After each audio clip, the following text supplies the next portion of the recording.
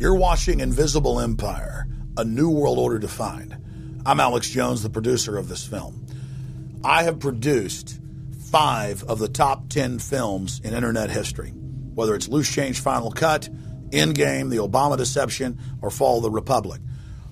Yes, we've made informative, well documented films, but the real credit for the success of these documentaries lies with you, the viewers. My friends, Invisible Empire is so important for people that need a crash course in the history of the ruling class and what this establishment is setting up. Please support the filmmakers so we can make future documentaries. Visit Infowars.com. Purchase the high quality hard case DVD that has over 30 minutes of expanded extras. Make copies of that because it's the best quality available. Give it to everyone you know. Have public showings, whether it's the library, a local theater, or your home. Get it out to everyone you know. Get a PrisonPlanet.tv membership. Download all my films in high quality. Burn them to disk and give them to everyone in your community. If we expose the globalist, there's no way they can carry out their hellish plan. The destiny of this film is in your hands. You've made our previous films incredible successes. I'm counting on you now. So again, Infowars.com to get the DVD or call toll free 888 253 3139 or see them all in incredible high quality at PrisonPlanet.tv. The ball is in your court. PrisonPlanet.tv is a better tool than ever in the info war. Over six years of my radio and TV shows, all my films in super high quality, my book, Paul Watson's book, all there, 15 cents a day. Your support of PrisonPlanet.tv empowers the resistance to unlock minds worldwide.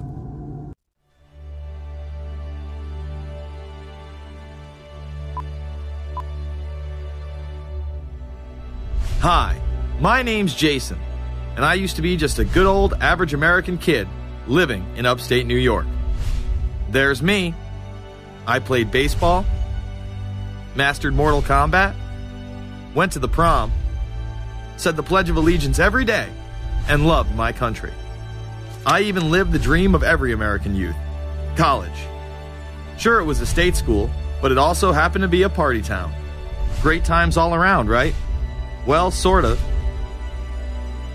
I still had to work hard as a pizza guy to make it. And of course, there was school. I had to figure out the computer graphics programs I was working with, as well as attend classes I didn't care about. I certainly didn't know much about geopolitics. Then 9 11 happened and everything changed.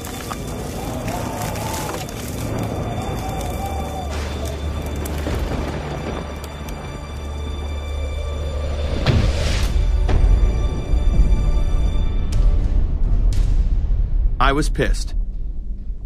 How dare the Muslim extremists massacre all those people? But was it all true? Prior to the invasion of Iraq, something didn't seem right. I then did a startling thing. I actually took a look at what happened that terrible September day. What I found horrified and angered me to such an extent that I took action. We were lied to, and lied to big time. Before I knew it, I went from a normal college student to the political guy at the party to one of the guys that brought you the first internet blockbuster, Loose Change. The film would not only change my life, but countless others as well. If you've ever seen Loose Change, the documentary about September 11th, conspiracy theorist documentary, it is riveting. Oh, like yeah. you watch it, and by the end, not even the end, ten minutes in, you're like, you got your car packed, your head. you're just like, oh my god, it's all true. So every place there's questions coming from this documentary. And you don't have to believe everything in the documentary to still have questions come up. And you look back and you remember what you saw and what you were told, and now you have questions. We got the boogeyman out there. See, Wow. for many years it was communism, then it was the war on drugs, now it's the war on terror. All through our life, we've had to have a boogeyman. Loose Change took the truth about 9 11 into the mainstream with over 100 million views and allowed me to travel the country and even take on some of my detractors. The answer is no, they cannot. Uh, Jason, I think it's it's telling that every time you disagree with something, you call the people a liar. I'm not calling anybody a liar, sir. I'm calling you a liar because you are a liar. But if we were lied to about 9 11, then who was really behind it? A lot of people on the web were pointing towards the New World Order, but that was impossible.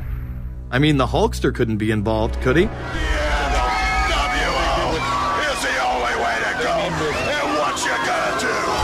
So I set out to find out if the New World Order really existed. And if it did, what was it? Who was involved? And what were their goals? The very word secrecy is repugnant in a free and open society. And we are, as a people, inherently and historically opposed to secret societies, to secret oaths, and to secret proceedings. For we are opposed around the world by a monolithic and ruthless conspiracy.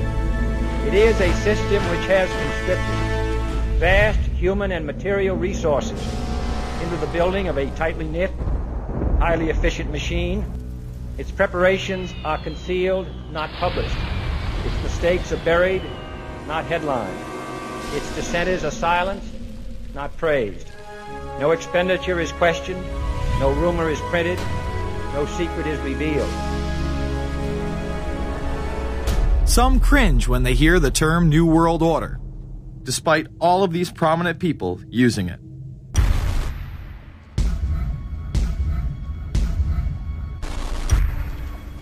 The world that maybe some people dreamt of at that conference back in Bournemouth when it looked as if maybe history would end, that liberal democracy would triumph, that free market economics would slowly progress, and we'd have a new world order.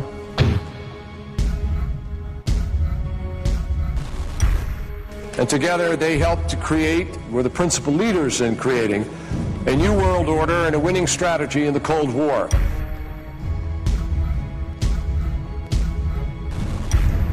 We are part of a new world order. And as the recently departed Admiral William J. Crowe once said, it's long on new and it's short on order.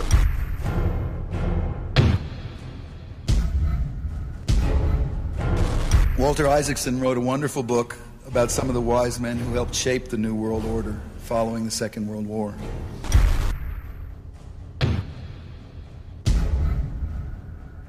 As we devise a way forward in Iraq, I urge the international community to embrace its responsibility for creating that new world order. A new world order based upon collective action.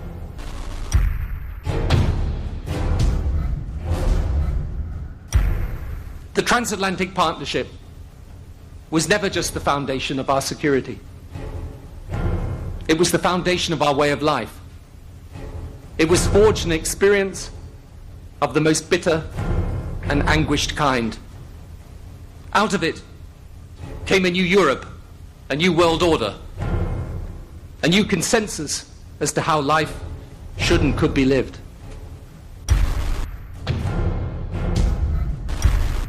And just like that, it was gone. It was the, it was a new world order. That's what President George H. Bush said. Harvard historian Francis Fukuyama pronounced the end of history. In fact, when it is used, that person is often dismissed out of hand because of the perception that it is nothing more than a conspiracy theory. Actually, the idea of global governance and a one world order has been around for centuries, and the term New World Order has been used frequently in recent history.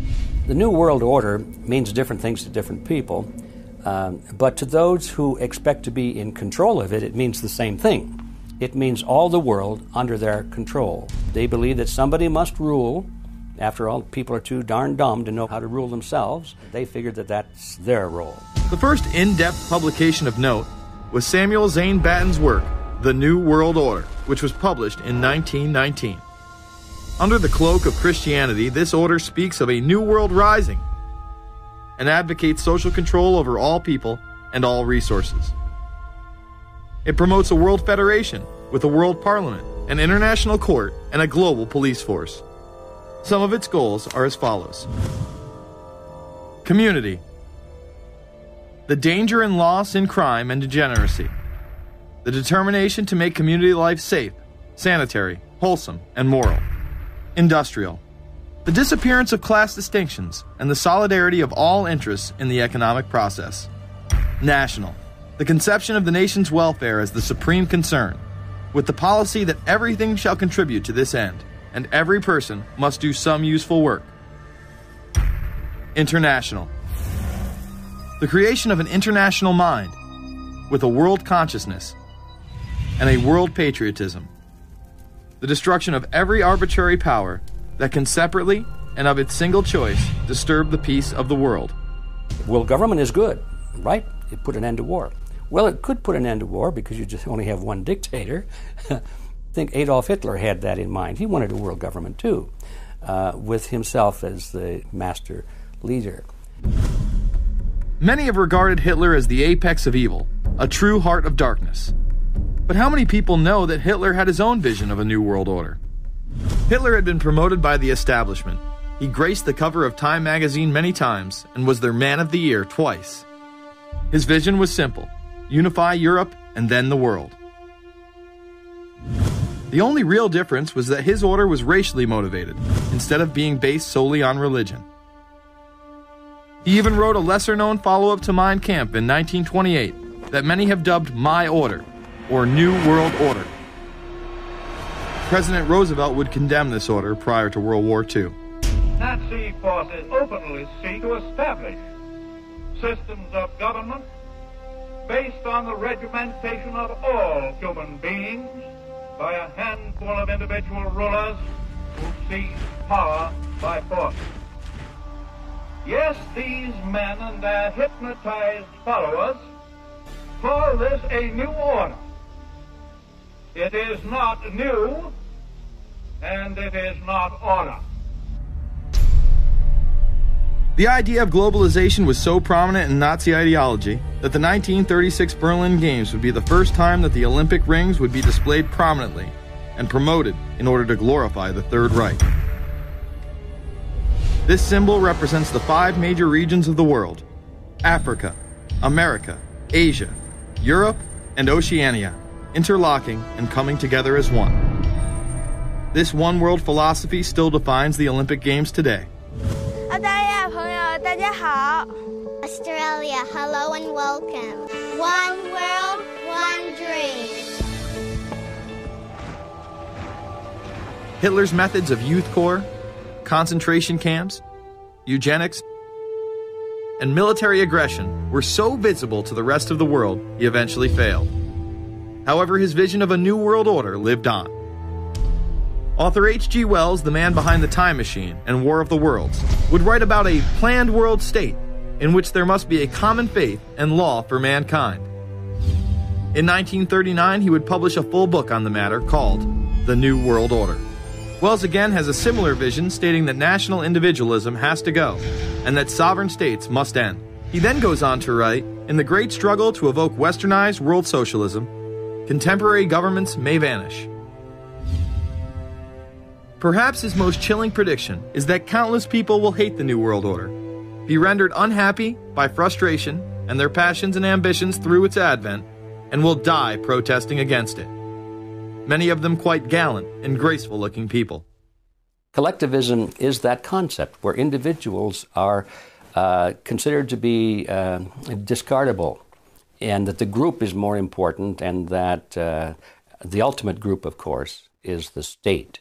And so it boils down eventually to the fact that the state is the all important uh, unit of society, and citizens exist only to serve the state. Other men of prominence would also promote a New World Order during the 1960s, including industrialist and former New York Governor Nelson Rockefeller. These are some of the reasons pressing us to lead vigorously towards the true building of a New World Order. Rockefeller would also become vice president under Gerald Ford. Religious leader Pope Paul VI, delegates to international organizations, public officials, gentlemen of the press, teachers and educators, all of you must realize that you have your part to play in the construction of a new world order. As well as former President Richard Nixon, and the hope that each of us has to build a new world order.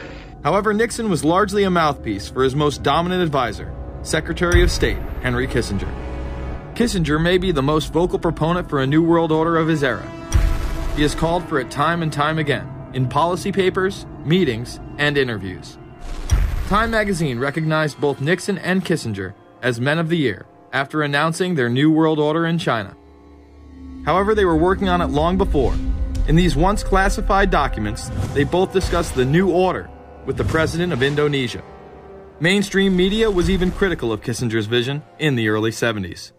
In ragged, spasmodic fashion, a new world order is coming into being, but it looks less and less like the world order that Mr. Kissinger had constructed in his own mind.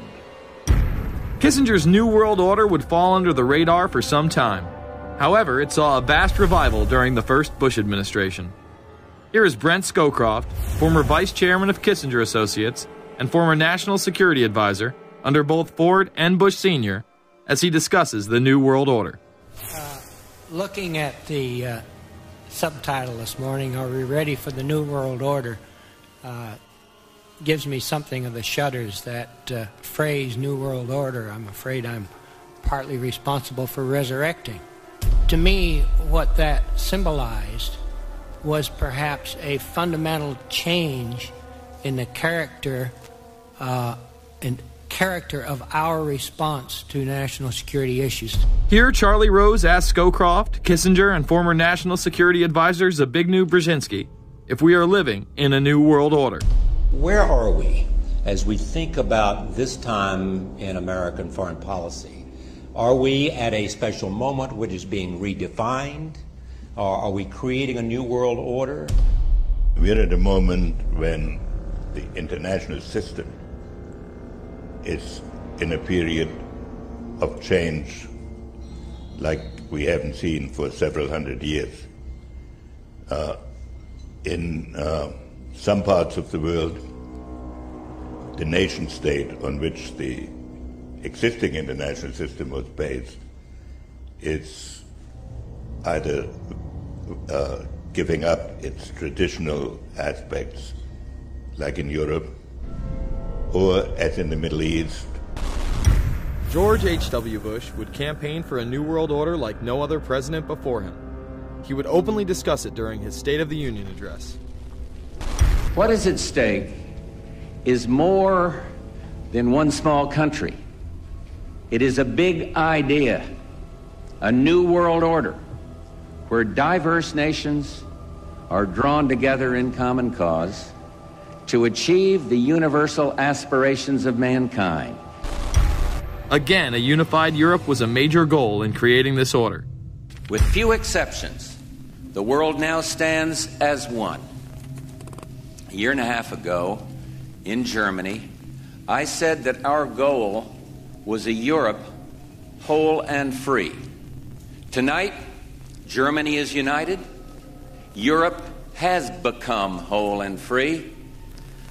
The world can therefore seize this opportunity to fulfill the long held promise of a new world order. We can find meaning and reward by serving some higher purpose than ourselves, a shining purpose, the illumination of a thousand points of light. Bush Sr. and his administration would tour and promote this agenda across the board at any given opportunity. The President has spoken often of a new world order. And we have an unprecedented opportunity to build a new era of peace and prosperity here and abroad, to build a new world order. It's my understanding, I think that the President, and I, I don't know the context of, of how it uh, came up in his speech last night in New York, said that China must be a part of the new world order. Guess I would like to ask you how you envision China fitting into the new world order. It is a country that uh, we are going to uh, uh, have relationships uh, with by virtue of its uh, geopolitical uh, importance.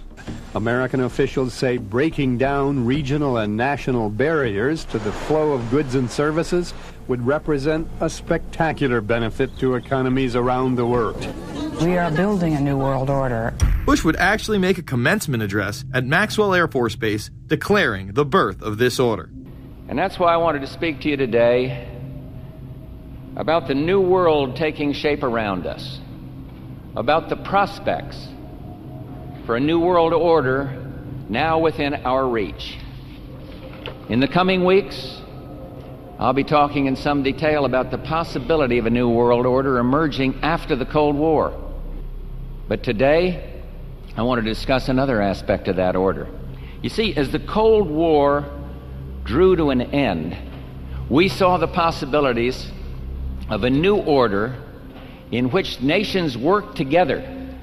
It refers to new ways of working with other nations to deter aggression and to achieve stability. As old threats recede, new threats emerge. The quest for the new world order is in part a challenge to keep the dangers of disorder at bay. We must build on the successes of Desert Storm to give new shape and momentum to this new world order. Only when this transformation is complete will we be able to take full measure of the opportunities presented by this new and involving world order. The New World Order really is a tool for addressing a new world of possibilities. This order gains its mission and shape not just from shared interests, but from shared ideals.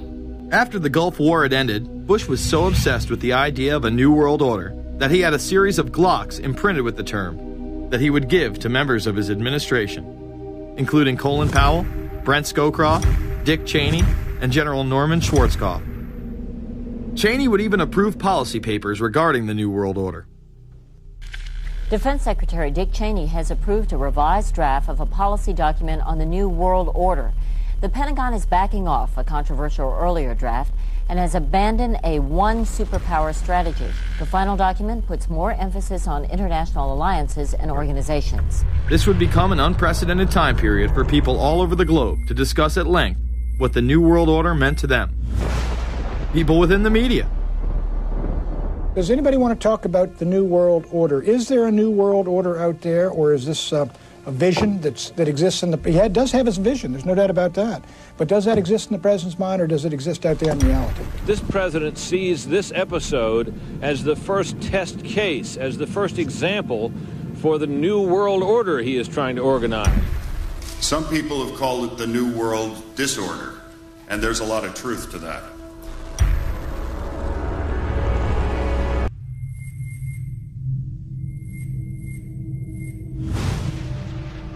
University and institutional chairs. I mean, we're talking a New World Order at Georgetown.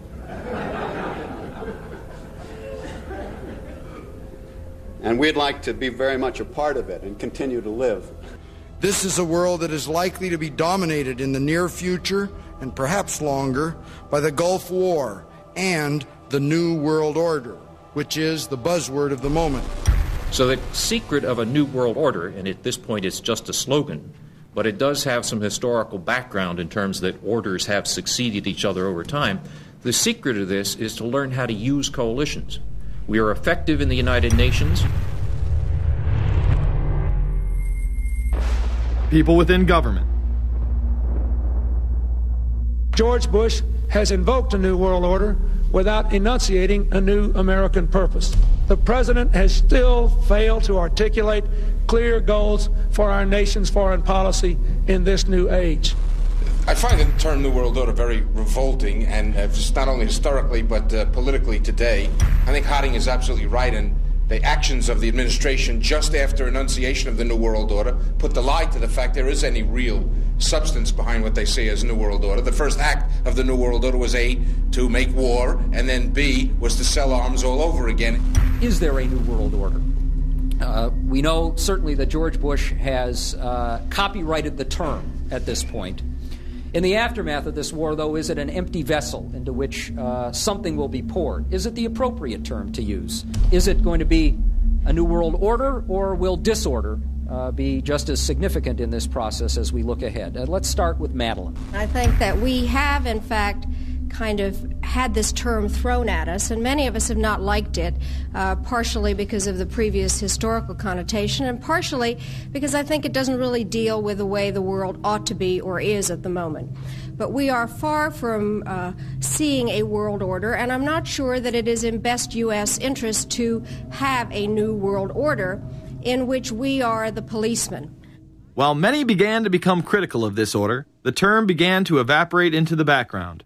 We are very, very skeptical of an international order if we are not sure how the rules will be made, because thus far the international order has been made with rules that we had no input into and that affect us. And even when, in the few, on the few occasions when the rules will seem to favor us, then they get changed.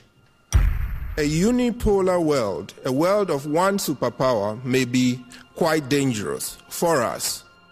The New World Order under the United Nations would mean, among other things, an end to our God given rights given us and secured by the Constitution.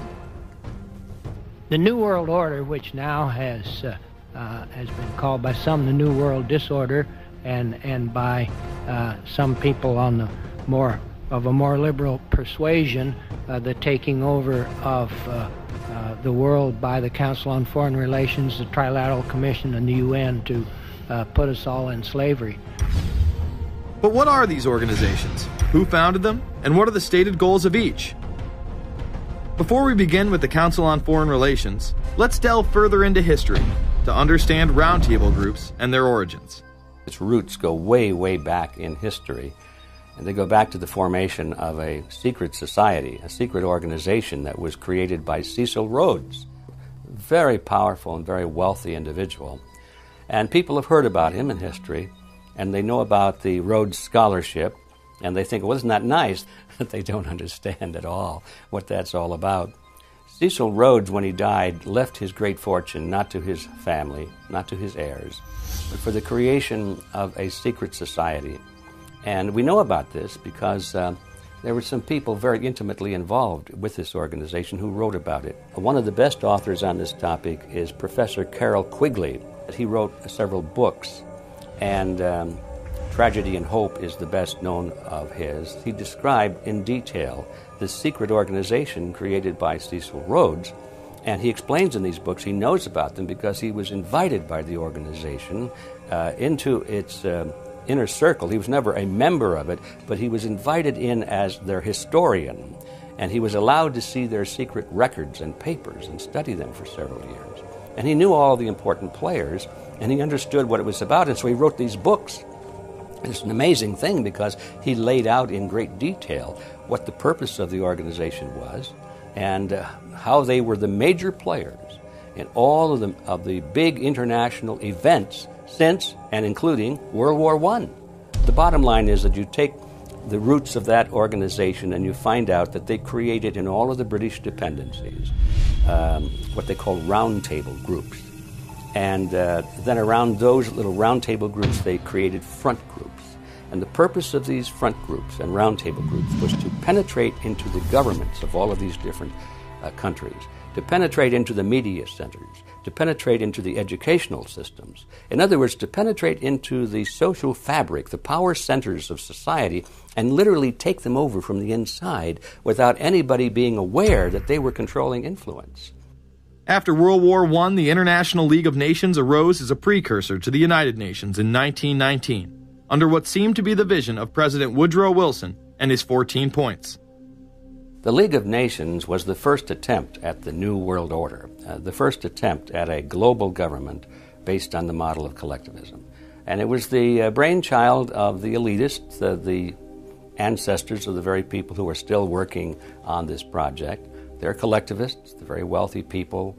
They're the ones in this country who dominated the powerful tax exempt foundations, like the Carnegie Endowment Fund for International Peace the Rockefeller Funds, the Ford Foundation, and groups like that.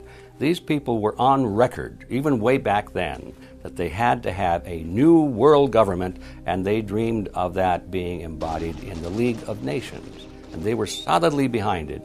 And that was one of the reasons those people encouraged the United States into World War I was because of the crisis of World War I, and that would also condition Americans to thinking of making big changes in their system because we certainly don't want another war like that, do we? There's that fear angle again. And they thought, well, by being in World War I, then we would be a major participant at the table to carve up the world and create a new world government. And that was to be the League of Nations. Well, what happened to it is that the American people didn't really go for it. Wilson was aware of the elite and their control over society. In his book, The New Freedom, published in 1913, he discussed such a group. Since I entered politics, I have chiefly had men's views confided to me privately. Some of the biggest men in the United States, in the field of commerce and manufacture, are afraid of something. They know that there is a power somewhere so organized, so subtle, so watchful, so interlocked, so complete, so pervasive, that they better not speak above their breath when they speak in condemnation of it. Ultimately, this insight did not spare him from becoming yet another puppet of the global elite. In all of the British dependencies, these organizations, the front groups, were called the Royal Institute for International Affairs. In the United States, they chose a different name. They chose the Council on Foreign Relations, but it held exactly the same relationship to this inner society of uh, Cecil Rhodes.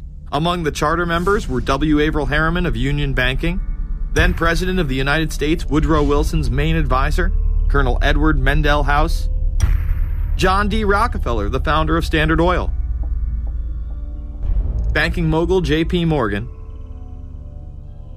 and prominent bankster Paul Warburg.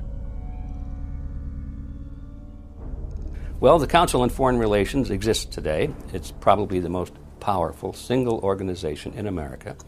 Many uh, observers, including myself, believe that it is the hidden uh, government of the United States.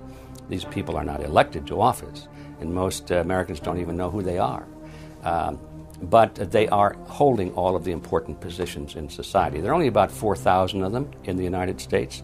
But I don't care what organization you want to look at, whether it's government or whether it's the universities or the large media centers or whatever it is, you look at the people at the tops of those organizations the owners, the managers, the CEOs, the board of directors, and I'm going to say probably 80 to 90 percent of the great power centers of America are dominated by just those 4,000 people who are members of the Council on Foreign Relations.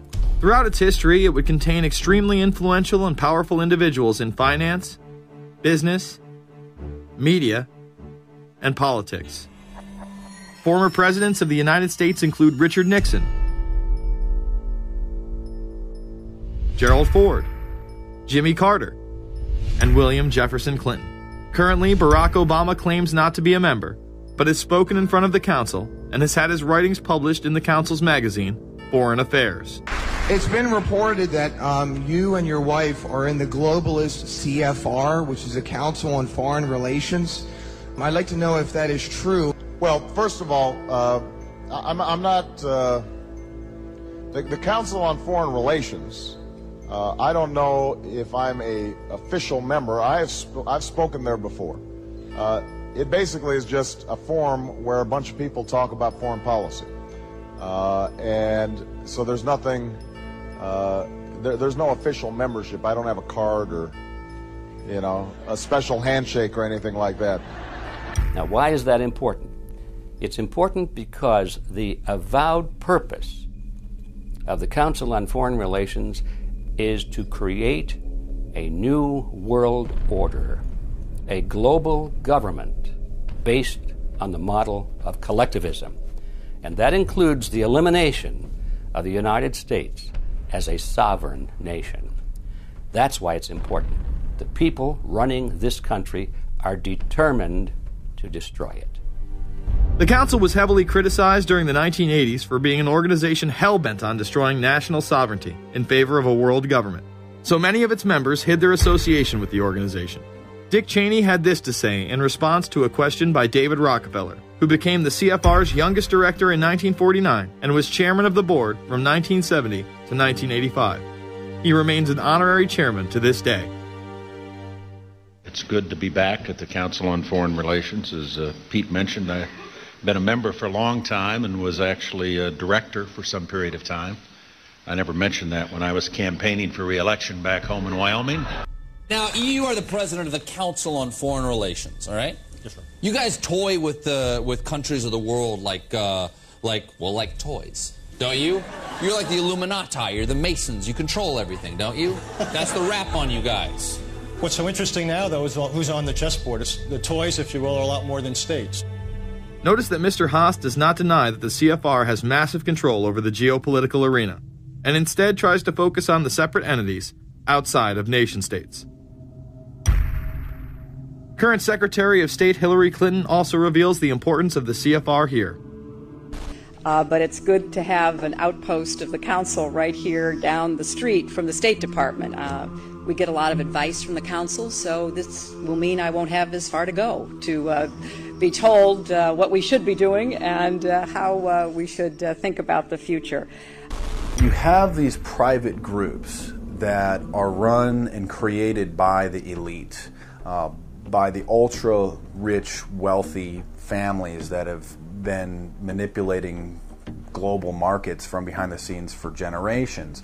They create these private groups that then feed information to the government, to senators, to congressmen, their recommendations, their policy papers, what they think should happen.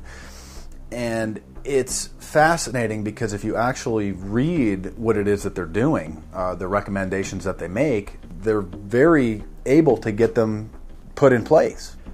Discussions that are going on in these private groups are really talks that should be going on in Senate committees and in the halls of Congress, but they're happening with these ultra elite groups that are then pushing their propaganda into the political mainstream, and then it's becoming enacted, it's becoming put into law. Still not convinced the CFR is promoting a new world order? Listen to what Leslie Gelb had to say upon leaving the New York Times to chair the organization as its president in 1993. Uh, I loved it. Doing a column is a great job. I'm going to an equally great but different job, and in a, in a way, a job that that caps everything I've been doing in my life in government and academia and in journalism. Uh, I think that's what the, the Council on Foreign Relations will allow me to do. Well, you know, for example, uh, you had me and uh, three or four other folks on this show a few months ago to House, talk about the New World Order, right? Right, exactly. Right. Bob I talk about and it exactly. right. I talk about it all the time. New World Order wants a global system where one small central authority of individuals can then dictate a policy that's going to be distributed down to the rest of the world, everywhere, in the smallest little town in the middle of nowhere in, in some remote country. I now think it's safe to say that the Council is extremely influential on the world stage and openly promote global governance. The Council and the globalists were able to take this agenda to the next level following World War II. The United Nations was born out of the ashes of this conflict. Unlike the League of Nations, the United States not only joined this organization, they championed it. First book I wrote was uh, The Fearful Master, a second look at the United Nations. It was written at a time when it was not popular to be critical of the UN. I mean, the United Nations was viewed by almost everybody as our last best hope for peace. It was a means, we were told, to bring humanity together and put an end to war and live in peace and harmony and promote trade and all of these good things. I wish it were any of those things, but it's not. The original charter for the United Nations was drafted in San Francisco in 1945, and the United States became a permanent member of the Security Council, along with France, the United Kingdom, the Soviet Union, and the Republic of China. The process by which other nations' belief systems could be used to erode and eviscerate our Constitution and Bill of Rights had taken a giant leap forward. The United Nations is one of the most well known sort of globalization attempts. Its primary goal is to streamline all the governments of the world to create a global council and to unify all the rules and all the regulations for the world. So it's essentially the precursor uh, and an engine of this new world order. The United Nations is made up of all of the countries of the world, most of which are dictatorships of one kind or another. And you don't take a bunch of dictatorships and put them into a bag and shake it up and come out with a, a freedom loving uh, governmental unit. You come out with a global dictatorship. This was the public face of global governance. However, many other organizations have been birthed since. even more suspect is a private group called the Trilateral Commission. David Rockefeller and Henry Kissinger are among its some 300 influential members. The Trilateral Commission, rich and powerful business and political leaders from Japan, Europe, and North America, the New York-based policy group was formed in 1973 by Chase Manhattan Bank Chairman David Rockefeller. In addition to Rockefeller, there are many other noted American members. Among them, economist Alan Greenspan, former Defense Secretary Harold Brown. George Bush was once a member but resigned last year before his unsuccessful presidential campaign. Back then, it wasn't politically wise to be aligned with what his party's right wing considered a shadow world government. The United Nations would take over America. The Trilateral Commission would control the world. Just look at its membership, they say. Current and former members include Presidents Clinton, Bush, and Carter. Names like Brzezinski, Christopher, Kissinger, and Shultz. And top executives of ITT, Xerox, Exxon, and Nations Bank. Although this group with only 300 members seems to be at the apex of the power structure, there is yet another group formed in 1954 that is even smaller in number and has a greater influence on world events. Meet the Bilderberg Group. This elite group meet annually around the globe. There is a core group of members who have attended every year for decades, such as David Rockefeller, Henry Kissinger, and Queen Beatrix of the Netherlands. These members invite others who are politically and socially relevant at the time. Each year, around 140 people are in attendance. Corporate lawyers are Fred. Real, real quick, I'd ask Hillary this question. Um, in 04, you attended a meeting in Italy called the Bilderberg Group. I just want to know what you were doing out there, what that was all about. If she lied to me and told me she didn't go, I figured you might tell me the truth. I did, all I did was go. They had a, a Republican and a Democrat. Republican was I gave I gave like a 20 minute talk on, on the presidential election. Did it have anything to do with being John Kerry's running mate? You talk about that at all? No, because I wasn't his running mate. Okay. I happened to be in Europe then on my way to Russia. I was invited to go to Bilderberg by Vernon Jordan, a friend of mine and a genuine hero of the civil rights movement. And to the best of my knowledge, NAFTA was not discussed by anybody in my presence. Documents released by the group in 2001 reveal that in September of 1955, the group met in Germany and covertly outlined the idea of a European Union. Section E, European Unity, discusses the general support for European integration and unification, and the idea to unify Germany once again with the rest of Europe under a common marketplace. Belgian Viscount and current Bilderberg chairman Etienne Davignon told the EU Observer in 2009 that the next Bilderberg meeting could improve understanding on future action in the same way it helped create the euro in the 1990s. This illustrates the patience, vision, and reach of this organization. It was able to promote and establish both the European Union and a European currency over the course of just under 40 years, incrementally. One of the things that the um, elitists discussed back at the turn of the century when they were talking about how do you convert the United States into a collectivist system was the fact that you can't do it quickly. You have to let people get used to it incrementally because any major change would be rejected. The 1957 Conference of Rome, where the Common Market Treaty, providing for free trade in all products, was at last signed. Six nations France, Germany, Italy, Belgium, Holland, and Luxembourg agreed to remove all mutual barriers to trade within 12 to 15 years, the embryo of a political union which they proclaimed to be their ultimate objective. In that fashion, it's possible for people to get used to this process and even to think it's a good thing. People will accept uh, the gradual uh, growth of government, the gradual loss of their purchasing power. Uh, they'll accept almost anything if it's done gradually. And we have to be very alert to that. 2008 and 2009 attendees include World Bank President Robert Zoellick, Treasury Secretary Timothy Geithner, former head of British Secret Intelligence Richard Dearlove, Donald Graham, CEO of the Washington Post, CNN host and author of The Post American World, Fareed Zakaria, and many other giants of business, politics, and media. You just came back from meeting with the Bilderberg Group. The Bilderberg Group are, you know, I, when, when people who are conspiracy theory, theory people, I, they send me mail, it's usually about the Bilderberg Group. And I get these books on my front door, which I'm uncomfortable with. But, and it's all about the Bilderberg, like they're the modern day Illuminati. Are you a member of the Bilderberg Group? Uh, uh, I don't think we're supposed to talk about this. Many have identified them as the kingmakers, the puppet masters that pull the strings behind the scenes. Perhaps there is no better example of this than what occurred during the 2008 conference. Immediately after Obama had been selected as the Democratic presidential nominee, the pressure was on to choose a running mate. We've put together a committee. We are going to uh, be equally deliberative in how we move forward.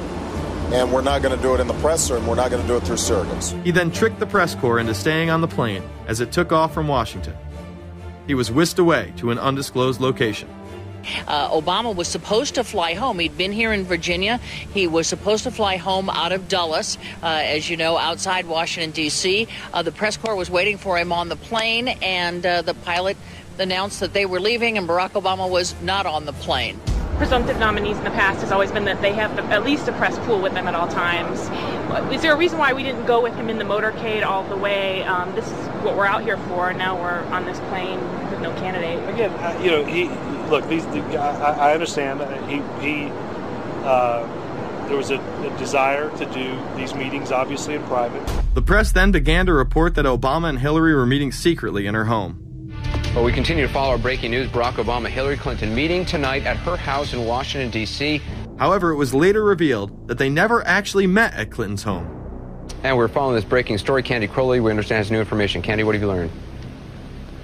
Uh, we are hearing actually from Chris Welsh, who is our embed with the Obama campaign. Those are the people that took off uh, without Obama and went to Chicago. Uh, the spokesman there is, in fact, confirming that the meeting did take place. They're talking in past tense now, uh, but saying that the meeting did not take place at the Clintons' house. Uh, it took place at, at this point at some place, I don't know where, some undisclosed uh, place in Washington, D.C., not at Hillary Clinton's house.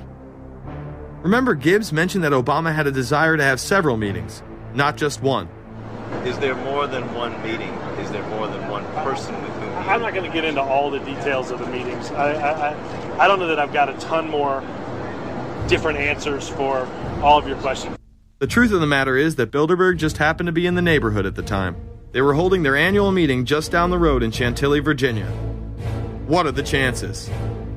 What's interesting and dangerous about the New World Order is that it's not a natural progressing idea. It's just not civilization naturally evolving and organizing into this system. It's the group of extremely powerful people that are manipulating the system to get it to this status from behind the scenes without anybody's knowledge. You have to ask yourself if there isn't an agenda going on to keep those organizations quiet and to keep them out of the news, to keep the discussions about them behind closed doors, then why is it that these supposed experts on the left and on the right never talk about them?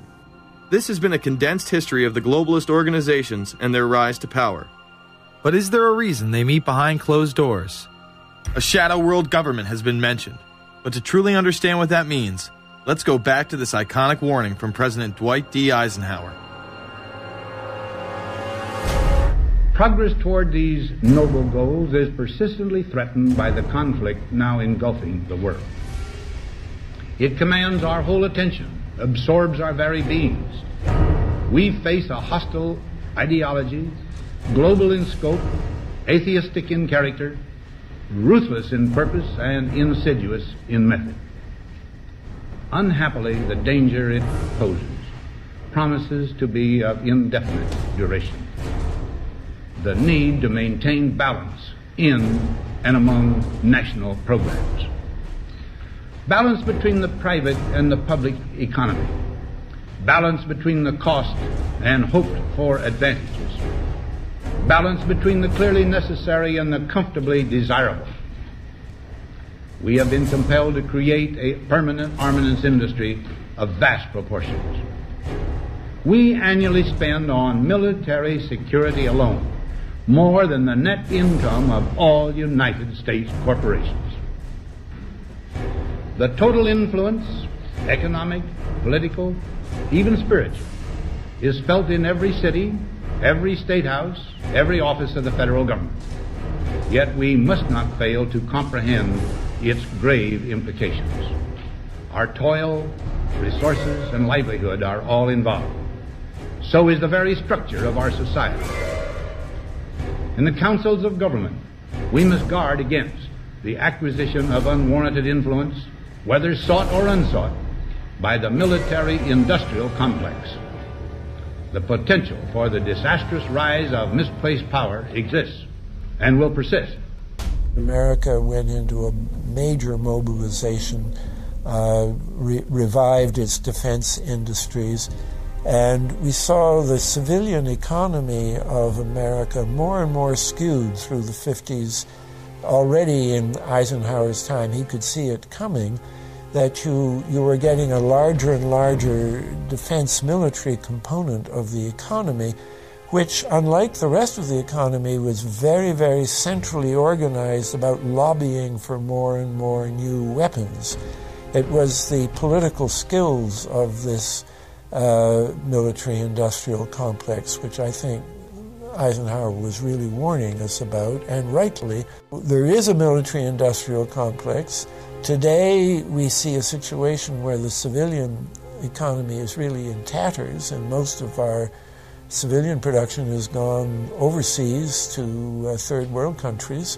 What do we export? Our biggest export practically is garbage, but uh, apart from garbage, we export military equipment. Uh, we have a, a, special act which uh, subsidizes, uh, makes it possible for, countries abroad to buy our armaments because it's too expensive to produce them for one country only.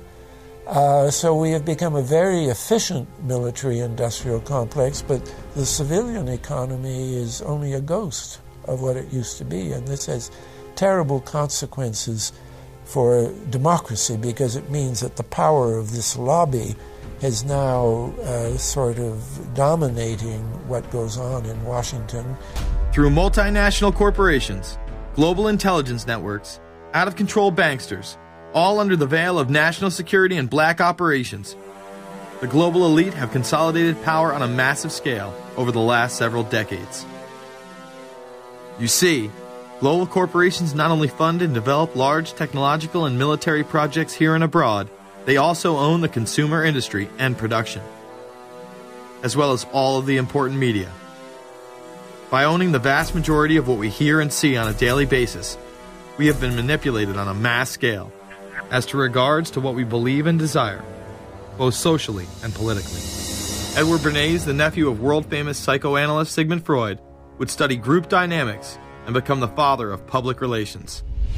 He authored the book Propaganda in 1928. In it, he described how to intelligently and consciously manipulate the habits and opinions of the masses within a democratic society. He went on to state that those who harness this unseen mechanism of society constitute an invisible government and are the true ruling power. It is they who pull the wires which control the public mind, who harness old social forces and contrive new ways to bind and guide the world. The average American is distracted, mindless, worried about minuscule things, celebrities, as if it was their own family members. And this is by design because the powers that be, who own the media, know how our brains work. They know scientifically how the human mind functions. They know about sociology, and they are using the media and have used the media for decades now to entertain people with issues that don't really matter. When you have the big news networks covering celebrity issues as if it's the most important thing, it becomes the most important thing. And this is not by accident. This is to keep us out of the way. Because if you're worried about the latest celebrity death or the latest celebrity couple or the, the celebrity breakup or your, your sports team um, having a shot at the Super Bowl or the World Series, there's so much information about those issues that can be discussed that will mesmerize people and they won't know or care about the real issues that are out there. Well, I think this is just one more piece of evidence of the degree to which the media, supposedly the watchdogs, uh, has become the gatekeeper of the system. Mainstream media are, first of all, nearly all of them corporations, nearly all of them now publicly held, part of the whole Wall Street uh, financial system that they're supposed to report about objectively, but they can't. They uh, right now, in uh, October of 2009, they are celebrating the recovery of the biggest banks in New York and saying that the recession is over. Of course, there are a few problems like foreclosures are going on, unemployment is rising. All of this is affecting the American people, but it's not affecting the financial elite who also control the media. Bernays successfully identified the invisible empire which controlled the minds of men. So, as the populace is mesmerized and hypnotized by powerful behind the scenes forces, as they are distracted by the latest celebrity scandal, the newest cell phone, and their favorite sports team, this network disguises itself, remaining in the shadows. Despite the elite utilizing Bernays' methods, in conjunction with the military industrial complex they had erected, a modern arm of this organization was exposed in what came to be known as the Iran Contra scandal. Essentially, black operations were not only caught dealing arms illegally and supporting South American dictators, but also smuggling drugs into the United States. Iran Contra was really the merging of two different programs. Uh, the first one was support for the Contras, who were, let's face it, a force of terrorists in uh, Nicaragua trying to overthrow the Sandinista government. They were being secretly supported by the CIA. And at the bottom of the whole thing was drugs. Iran Contra was openly exposed by massive network coverage. How was it that in three years, a network Washington set up to run arms to the Contras wound up running cocaine into this country for the most vicious drug cartel in the world? At the same time, we were supposed to be fighting a war against drugs. But by the same token, I also smuggled my share of weapons in exchange for those illegal substances with the full knowledge and assistance of both the DEA and CIA. Betzner says that in 1983 he flew weapons from Florida to El Salvador and drugs from Colombia to the Bahamas on the way back. In 1984, he says, he flew twice from Florida to Costa Rica and back. We could bring back our own cargo, and they would arrange it, or we could bring back their cargo without ever having to worry about interception, arrest, anything like this, that everything was taken care of. What kind of cargo were you talking about? Drugs. Tolliver says he had two meetings with this man, CIA veteran Rafael Quintero. Then in March of 1986, he says he flew 14 tons of weapons down to Honduras, to this Contra resupply base set up by the CIA. We take off from Tegucigalpa, Honduras, and we leave. To? South Florida. Where in South Florida? We landed at Homestead. Homestead? Air Force Base. This is the plane Tolliver says he used. The plane traces to a company that had a State Department contract to fly humanitarian supplies to the Contras. In addition to that, three dozen sources confirm the basic scheme. We can now report that long before that operation began, there was another operation to provide guns for the Contras, which was also against the law. In this operation, Americans and Israelis provided arms to the Contras, and then the same network smuggled drugs into the United States. The operation was launched in spring of 1983 at Washington's request, with at least $20 million of Israeli government money later reimbursed, we're told, from U.S. Covert Operations funds. For about five years, uh, people were flying arms into Iran, and most of them came from Israel. The Israelis purchased the weapons from Poland and Czechoslovakia and began shipping them secretly from Yugoslavia to Bolivia, and then to Panama. The Israeli liaison man there, this man, Michael Harari, until recently a close aide to Panama's strongman, General Manuel Noriega. You'd bring the ship into Colombia, you would load drugs aboard it, and you would bring those drugs back to Panama with you. But bringing that stuff into the United States, that was something else. I, I've never been so thoroughly disgusted with myself in my life. This network would also be involved in the October surprise. We really can't understand that unless we understand the so called October surprise in the 1980 election, which is, uh, I think, unquestionably Republicans, including uh, William Casey, who later became Reagan's head of the CIA, negotiated with the Iranians for them not to release the hostages which were being held in Iran to Carter, but to wait until the uh, Carter was defeated and the Republicans were in. That is what actually happened, that the hostages were only released on the day that Carter left office and Reagan came in. Unbelievably, this same network would even be linked to the BCCI banking scandal by journalist Danny Casolaro. Casolaro was probing a conspiracy he called the Octopus, which involved the Iranian hostage crisis, the Iran-Contra affair, with, believe it or not, all funds channeled through BCCI, the international bank charged with everything from money laundering to fraud. BCCI, it's a shadowy international bank linked to terrorists, drug runners, and dictators. Little was known about BCCI until six of its top officers were arrested in Tampa in October of 1988 on charges of laundering drug money for Colombian cocaine bosses. The BCCI men were convicted, and the bank itself pleaded guilty. But for some reason, the bank was allowed to continue to operate all over the world. There are indications that some of the reluctance to prosecute this bank stem the from the favors it did for the favors it did for intelligence services everywhere.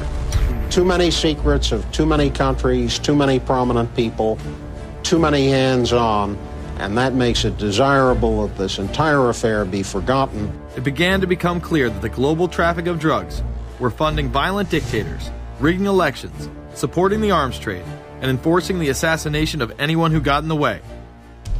Casolaro was found dead for his efforts in exposing this network. His death, of course, ruled a suicide. He was meeting a source in West Virginia. He was about to discover all. Instead, his body was discovered in a hotel room with 12 slashes in his wrist. But when the local authorities ruled it suicide, the family said, no way. The housekeeper had taken calls threatening his life. And I pick it up telephone, I say hello, and he said to me, you son of a bitch, you's dead. Casolaro would not be the only person involved in the scandal to wind up in a casket. Meet Barry Seal. At first, the media portrayed Seal as a drug dealer gone good, who was assassinated by the Colombian mafia. Authorities believe last night's machine gun killing of top drug informant Barry Seal was ordered by drug bosses in Medellin, Colombia, who sent five men to Baton Rouge to kill Seal. Sam Dalton was the lawyer that represented the Colombian hitmen convicted of his assassination. We were trying to subpoena the CIA because we felt like they had documents, exhibits, and evidence that would indicate complicity in Seal's assassination. When they were able to gain access of Barry Seal's trunk the night of the murder, the personal phone number of none other than George H.W. Bush was present. Louis Unglesby, the former attorney for Mr. Seal, also confirms that he once called the office of the vice president after Seal had given him the number. You see, the Black Ops drug smuggling operation had not yet been exposed, and intelligence couldn't take any chances. It was later revealed that Seal was involved in smuggling cocaine into Mena, Arkansas, while Bill Clinton sat as governor.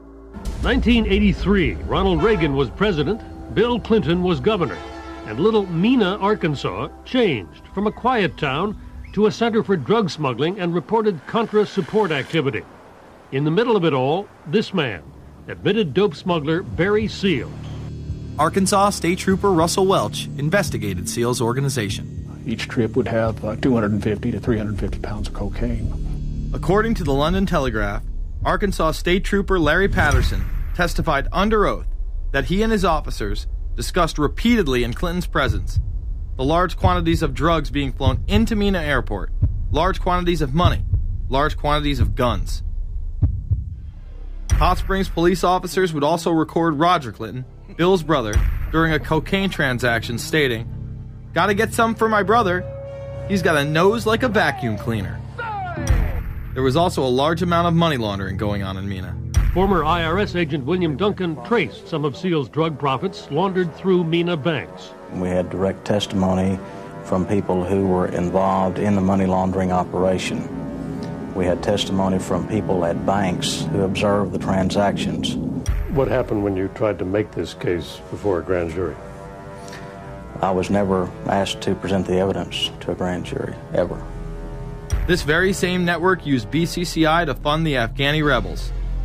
The deputy director of the CIA, Richard Kerr, said late today that the CIA did use the Bank of Credit and Commerce International, BCCI, to support CIA activities overseas. Most people still believe that the Soviets had maliciously invaded Afghanistan in order to spread their communist agenda. The Al Qaeda was essentially a kind of in, a byproduct of Brzezinski's campaign to embarrass the Soviet Union in Afghanistan. They they weren't in Afghanistan at that time. Brzezinski boasted later that he was uh, responsible for drawing them into Afghanistan. And he did this extraordinary interview with uh, Le Nouvel Observateur in France, and they said, But aren't you worried that you've uh, created this whole new force of uh, Al Qaeda? And he said, Oh, what's more important, a few crazed Islamists or the fall of the Berlin Wall? And uh, they said, but you know, is there no danger? Isn't, aren't they dangerous? And he said, nonsense. He said all this in 1998. So uh, I consider, I knew Brzezinski and, and, at McGill University. We were students together and took very small classes together. And in some ways he's bright, and in some ways he's kind of nuts. And um, he had the kind of nuttiness that uh, made him attractive to the Rockefellers. Bin Laden and his network were actually funded by BCCI through U.S. covert operations. Well, the reason I bring it up, if you've ever heard any of our call-in shows, you know that we have people that uh, think about the conspiracy theories mm-hmm. of people like you. Uh, you would be a poster child for these people because you have served on the board of the Council on Foreign Relations. You started, helped start the Trilateral Commission, and you've been to the Bilderberger Group. Too, are people too close in this world? Uh, people in business too close to the, the governments? Well, you know, th- there is such a thing as insidious influence. And the question is, how does it operate? Does it involve bribery? And does it involve some sort of psychological domination of individuals? I don't believe in this notion of some sort of secret societies controlling people. But of course, in any political system, there are sort of over the table and under the table arrangements. Arrangements that involved ruthless, illegal, and immoral activities in order to dominate humanity. Despite all of the evidence that has just been presented, this network would fall down the memory hole, even though 14 convictions were made in the Iran Contra scandal. The continued cover up would be made possible by George H.W. Bush. Uh, these documents that came forward in the North trial uh, clearly reveal the involvement of the vice president to a greater degree, I think, than he has acknowledged heretofore. This, of course, did not stop him from pardoning those involved during the twilight of his presidency. Some new reverberations today to President Bush's Christmas Eve surprise, the pardoning of former Defense Secretary Caspar Weinberger and several others in connection with the Iran Contra allegations. Well, now the special prosecutor says it's the president who needs to explain some things. The real issue is why the notes weren't produced five years ago when the congressional investigation and the independent counsel's investigation had requested them. Because high level political officials scrambled to limit the investigation and establish plausible deniability for the upper echelons of the network, including Bush himself. So, who is this guy? And how did he come to power? To understand that, we must first take a look at his father, Prescott. Prescott was born into privilege and became extremely influential in business, intelligence, and politics. He helped establish the CIA out of the Army's Office of Strategic Services with the Dulles brothers and served as a senator in the state of Connecticut. However, during his time serving as one of the directors of Union Banking Corporation, he was doing business with Nazis. The Bushes have been sort of at the heart of the military industrial complex since its very beginning, and that Prescott was involved in a firm that uh, actually fronted for Nazi firms uh, in America. In fact, Union Banking and its subsidiaries were seized by the United States government in October of 1942 under the Trading with the Enemy Act. After the war, the assets were returned, a few fines were paid, and it was swept under the rug of forgotten history. These Nazi ties should not be all that shocking, seeing as it has been declassified that the Office of Strategic Services recruited Nazis into its ranks through Project Paperclip in August of 1945.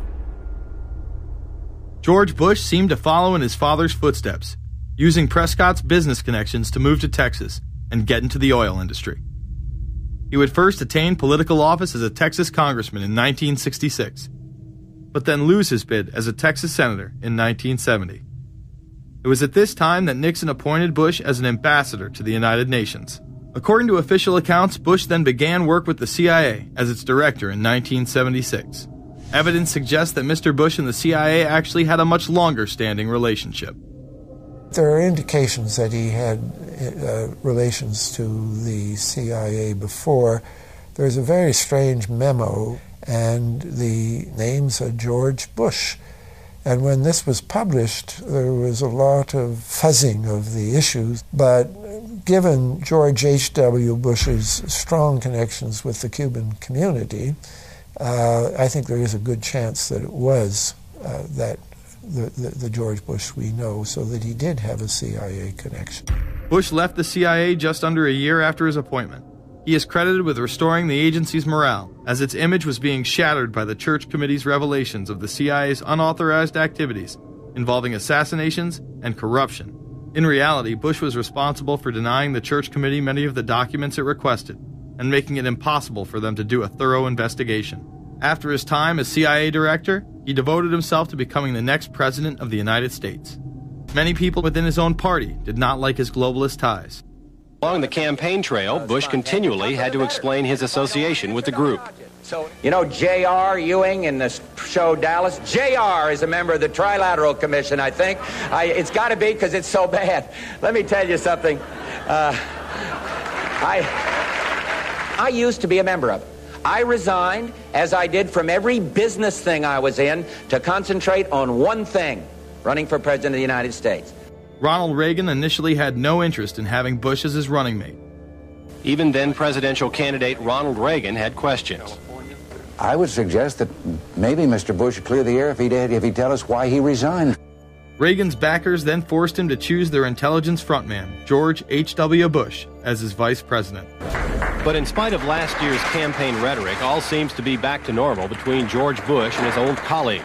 And President Reagan, who is relying on many of these powerful business leaders to make his economic package work, will host commission representatives at the White House Monday. After Reagan's election, there was an attempt on his life, just 69 days into office. Astoundingly, Bush would again be connected. So just who is John Hinckley Jr.? When he left this neighborhood eight years ago, he was, by all accounts, well liked and seemingly normal. This donut shop near the motel was visited by Hinckley, who reportedly waited for a phone call here each day, even though he had a phone in his motel room. The nature of the calls is not known. A touch of irony. The young man walking with the elder Hinckley is 30 year old Scott Hinckley, John Jr.'s brother. He and Vice President Bush's son, Neil, are friends. They had planned to have dinner together in Denver tonight. The plans have been canceled. We were told Hinckley was a madman acting alone. If that was the case, why was he making phone calls from a payphone down the road instead of his hotel room? Why was the would be assassin's brother a family friend of the man who stood to gain the presidency? While Reagan led the nation in the public eye, Bush exploited his power through the largely unknown Continuity of Government Directive. United States federal government, there is a super secret agency which controls this shadow government.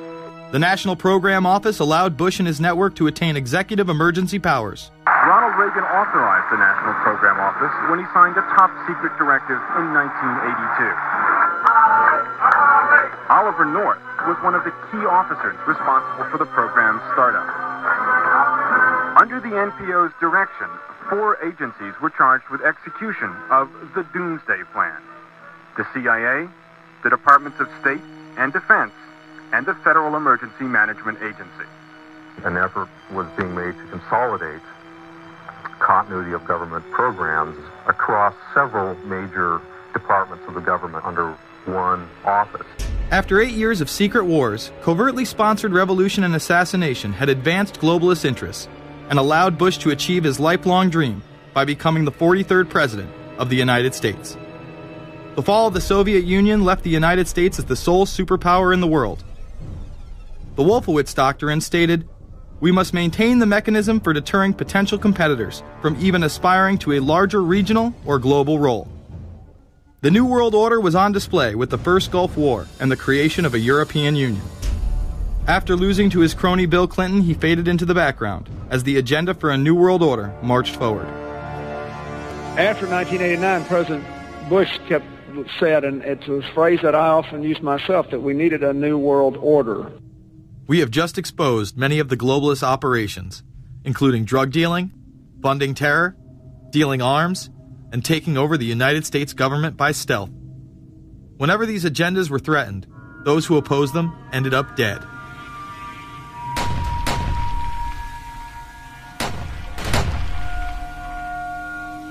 Some difficult days ahead. But it really doesn't matter with me now because I've been to the mountaintop.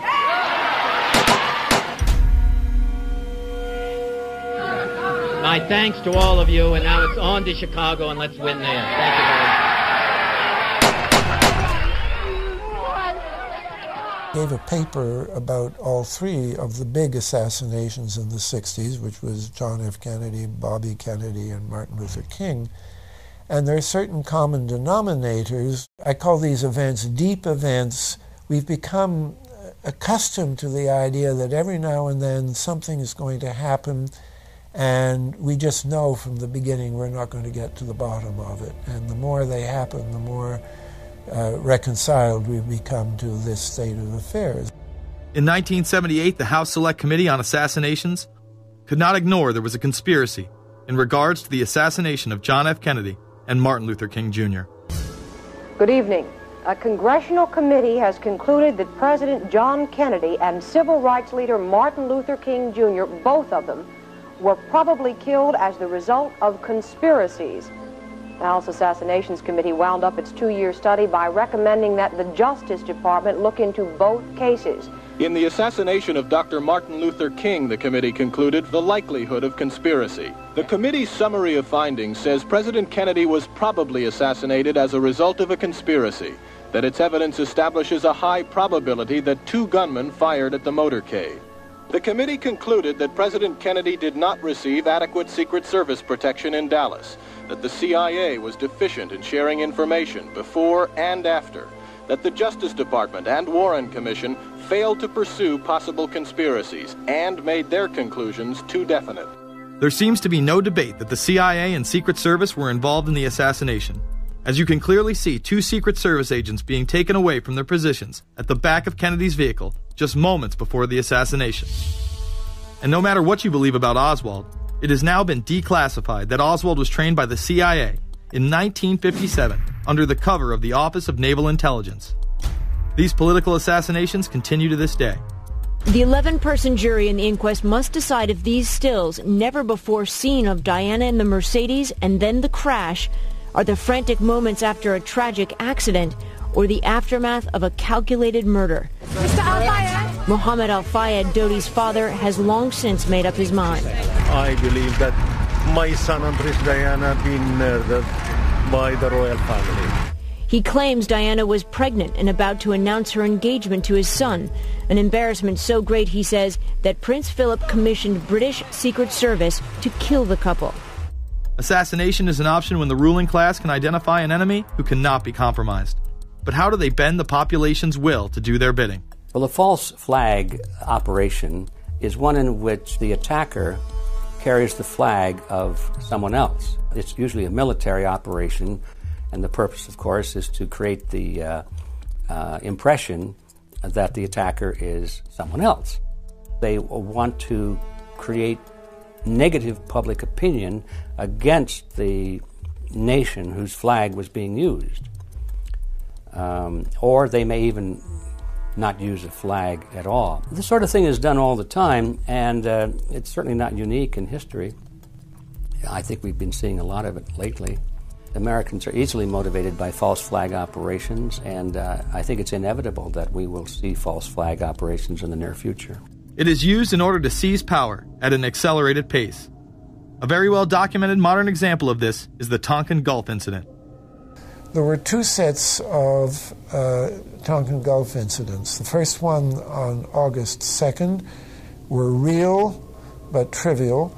The second on August 4th, two days later, were the ones to which we actually sent planes off in retaliation and were, in theory, much bigger a torpedo attack on a U.S. destroyer, but in fact it never happened. When McNamara visited Vietnam, he confirmed the Tonkin Gulf incident never occurred, and once again, we were lied into war. To this day, I don't know what happened on August 2nd and August 4th 1964 in the Tonkin Gulf. The general provided the answer, saying his Navy attacked the Maddox on August 2nd. But on the 4th, nothing happened. There was absolutely nothing, he said.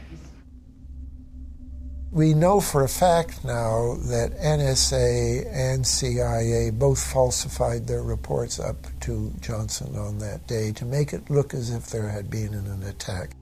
Upon the fall of communism, a new threat had to be established in order to maintain their military industrial complex and keep the people in fear of invisible enemies. More modern examples of this have been used not only to start conflicts abroad, but to instill fear in large populations in order to demonize groups and further erode civil liberties. The majority of people still believe that Timothy McVeigh was a right wing extremist who bombed the Oklahoma City building with a Ryder truck because he was upset with the government. People close to the event told a very different story. A local congressman believes that convicted bomber Timothy McVeigh and his accused co conspirator Terry Nichols are not the only ones involved. The Oklahoma State Representative Charles Key produced a videotape featuring witnesses who claim to have seen Timothy McVeigh with another man the morning of the bombing. He was wearing a ball cap. Timothy McVeigh had his on backwards, which just like this. It was on his head. The other gentleman had his on like this. In fact, the FBI had actively pursued John Doe number 2 in its initial investigation, then denied his existence altogether. There were also multiple reports that explosives were found inside the Murrah building.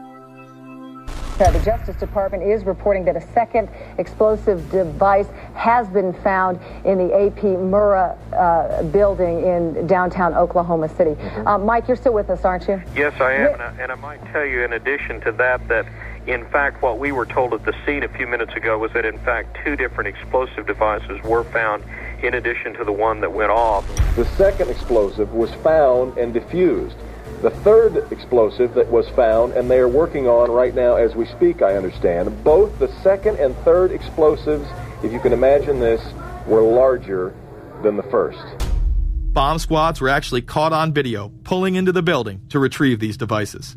They'll back that trailer down there and the uh, bomb squad folks will go in and they will use that uh, that trailer. You see the, the bucket on the back there, sort of this is how they would transport the explosive device away from this populated area to try to do something with it. I just took a look down the street uh, at the Murrah building again. I see another bomb truck going, so apparently they're going to try to get out that third bomb that's been talked about. This was even confirmed by the governor at the time, Frank Keating. One device was uh, was uh, deactivated. Apparently, there's another device, and obviously, whatever did the damage to the Murrah building was a tremendous, uh, very sophisticated explosive device. Members of the ATF who would have normally been in the building were tipped off prior to the bombing. He saw what appeared to be a police bomb squad truck near the Murrah building two hours before the blast. It had a shield on the side of the door and it said bomb disposal or bomb squad below it. And I really found that interesting. Another witness who spoke to ABC News on the condition of anonymity will tell the grand jury tomorrow he was told by an ATF official agents working in the building had been warned in advance not to come to work. He just came out and told me that the ATF wasn't in the building that day. They'd been tipped by their pagers not to come to work, uh, which I was, flabber- I was flabbergasted.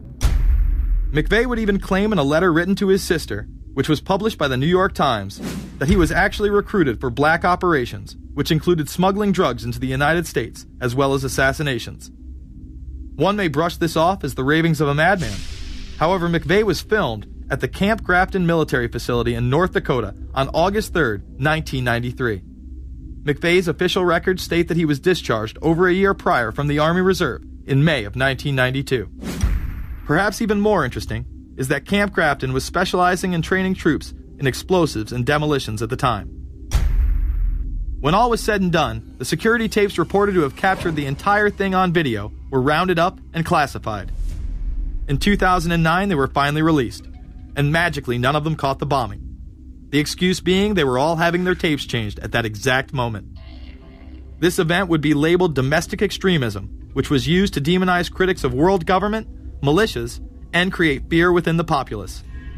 Muslim extremism seemed to show its ugly face in then unprecedented fashion on February 26, 1993.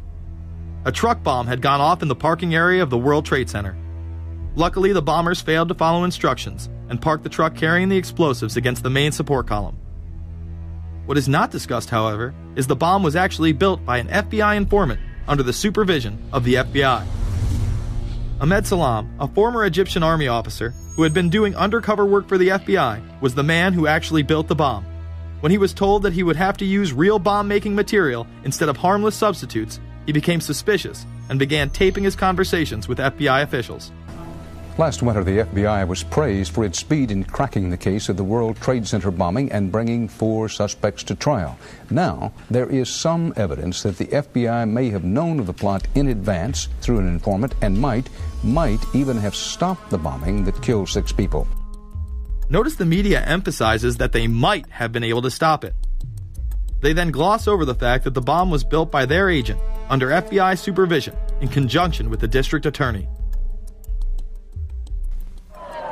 FBI agents might have been able to prevent last February's deadly explosion at New York's World Trade Center.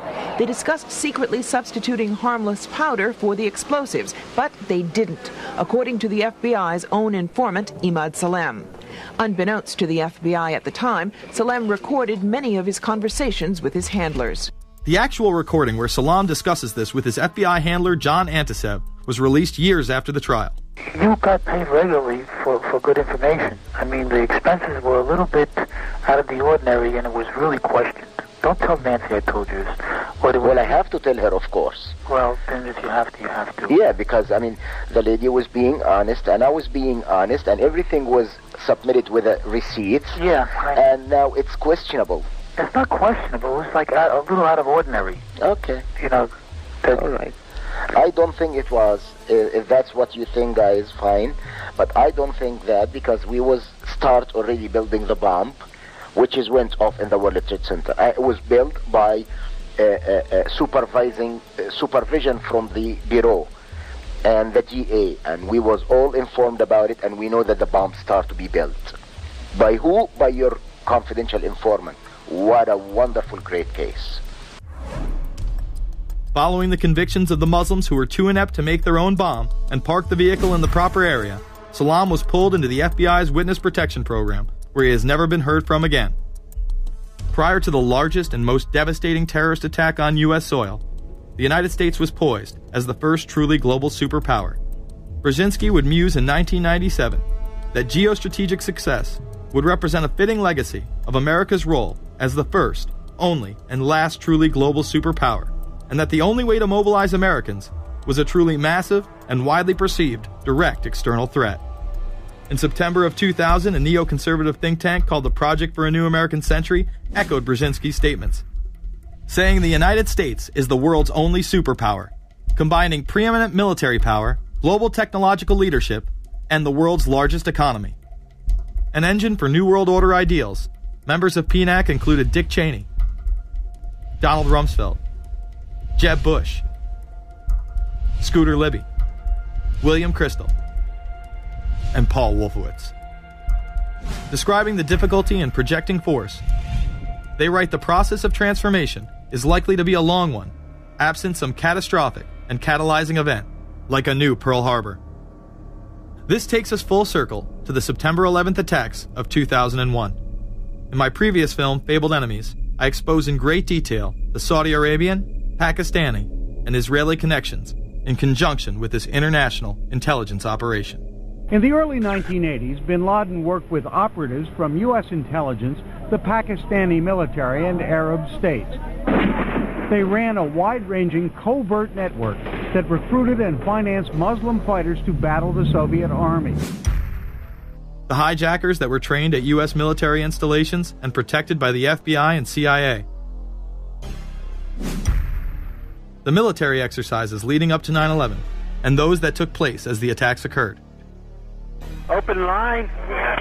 Surveillance, Sergeant Richmond. Sergeant Richmond, Sergeant Light from Cheyenne Mountain Test Control. How are you? I'm doing fine. Okay, I need you to terminate all exercise inputs coming to Cheyenne Mountain at this time. Copy.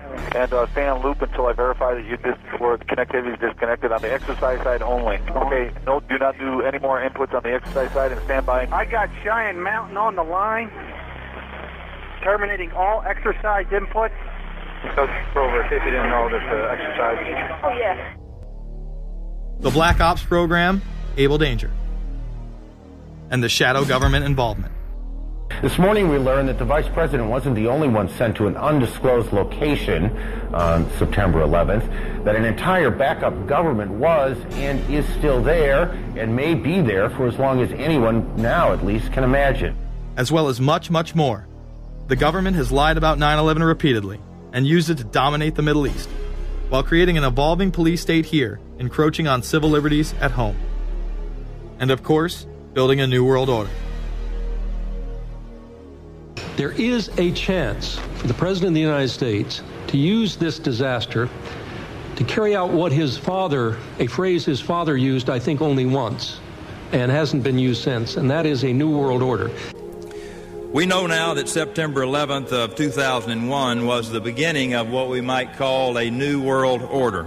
The New World Order that uh, uh, this president's uh, father talked about with such great enthusiasm seems to be high on the agenda of this administration. Under the second Bush administration, massive amounts of civil liberties were openly and brazenly taken away following 9 11. The passage of the Patriot Acts, the Military Commissions Act, and other horrifying anti constitutional legislation was enabled by the incredible amount of fear generated by the media, all in the name of keeping us safe here at home. The war itself would create huge profits for the military industrial complex, and the globalists would seize even more power and control over Middle Eastern resources in what they planned to become a Eurasian Union under their control. Although the establishment claimed to be fighting for our freedom abroad, they were destroying our sovereignty by stealth. Expanding on NAFTA, they were able to consolidate power on the domestic front by deindustrializing the United States through CAFTA, the Central American Free Trade Agreement, as well as the SPP, the Securities and Prosperity Partnership. Opponents, however, say the initiative is nothing less than a plan to create a North American Union that would eliminate sovereignty for all three nations. Building on the North American Free Trade Agreement, the NAFTA section of the Commerce Department is busy drafting laws and regulations for a North American Union, a union of Canada, America, and Mexico. The President has attended secret meetings and signed at least two agreements under the Security and Prosperity Partnership Program. The stated goal established by Presidents Bush, Fox, and Prime Minister Paul Martin is integration by 2010. That's a plan from the business elites, the political elites, that will cost more American jobs, cost American sovereignty, but it would fulfill the president's father's vision. Now, former United States Trade Ambassador Robert Zoellick is talking about it again with renewed vigor. This time, a new world order with business at the helm of trade and economic policy. It's an agenda that goes hand in hand with the United States, Mexico, and Canada working quietly and behind the scenes to promote a common market with common deregulation for the benefit of multinational corporations. It's remarkable to me the arrogance, the, the idea of just simply throwing away the nation's sovereignty, but they're trying to do so in so many ways. People better understand that they mean exactly what they're saying. It's a new world order they're trying to create. Dobbs, the only mainstream anchor to expose the New World Order, resigned shortly after bullets were fired into his home. The elite do not plan on waiting around for these unions to be formed before implementing the next step in global government.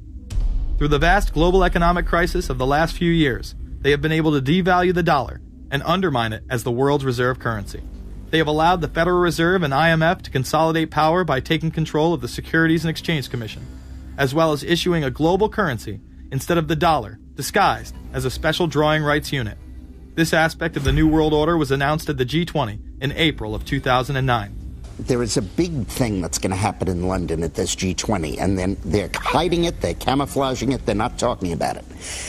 Coordination of international regulation. What they are going to do is to put our Fed and our SEC under the control, in effect, of the IMF. New World Order, that's what they're, they're planning in there, is, is to um, undermine the U.S. currency, and it's just it's just really sad. What it really is, is putting the American economy under international regulation. Yeah. And those people who have been yelling, oh, the UN's going to take over global Conspiracy government. theorists. They conspir- they've been crazy, but now they are right. There's 20 or whatever people in the G20, say there's 20 ministers, thousands of us, and we can't get our voices heard. When Geithner said he would be open to the idea of a global currency last Exactly, week, yeah. th- those conspiracy people had said and suggested that for years. right. You're not wrong. Cash is becoming weeded out. Uh, cash will most likely be eliminated or, or extremely difficult to use in many situations, so that you'll have to use the global currency or the electronic currency. Even though a physical global currency is yet to exist, groups such as BRIC are openly promoting a new reserve currency, which is a conglomerate of Brazil, Russia, Indonesia, and China. Get everyone in the whole world using one currency, uh, which some people think that's a good idea. Russian President Dmitry Medvedev recently showed off a sample coin of the new world currency at the G8 in July of 2009.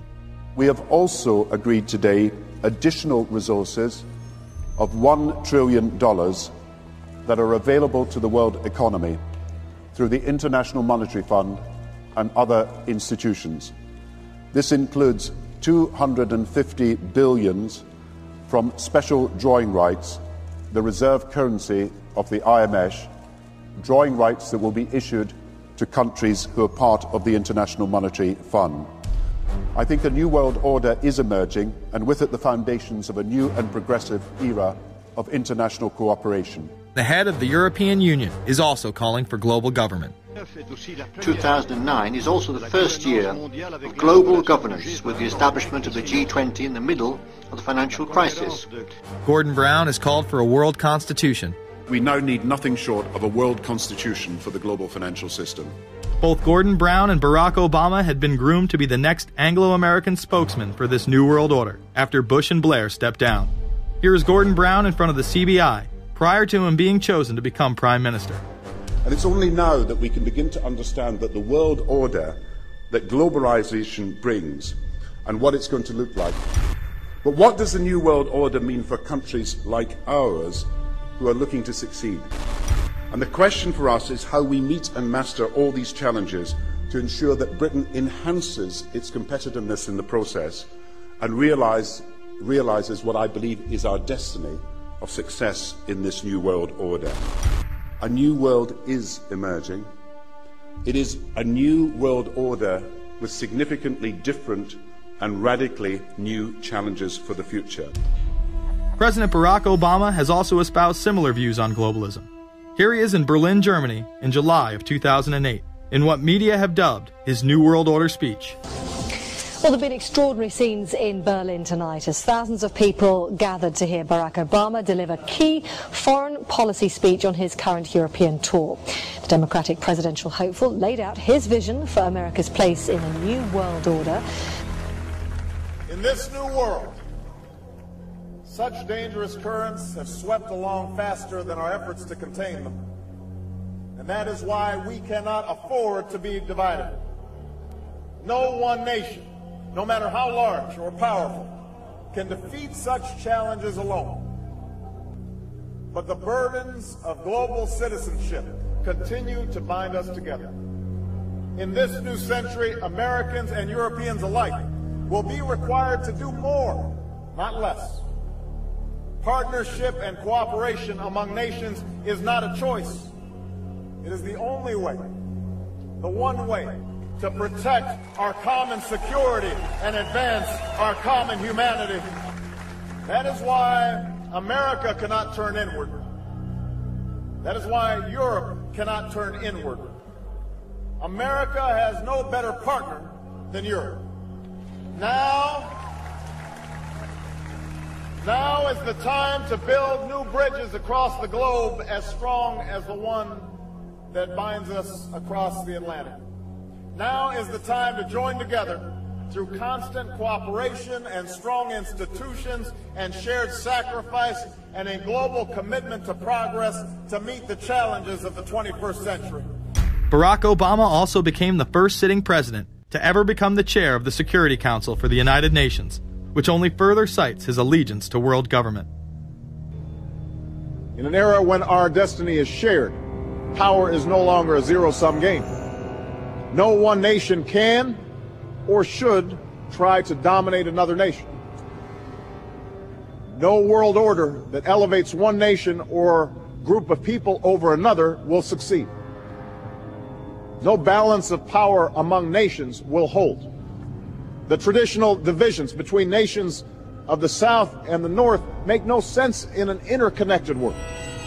I think his task will be to develop an overall strategy for America in this period when really a new world order can be created. It's a great opportunity.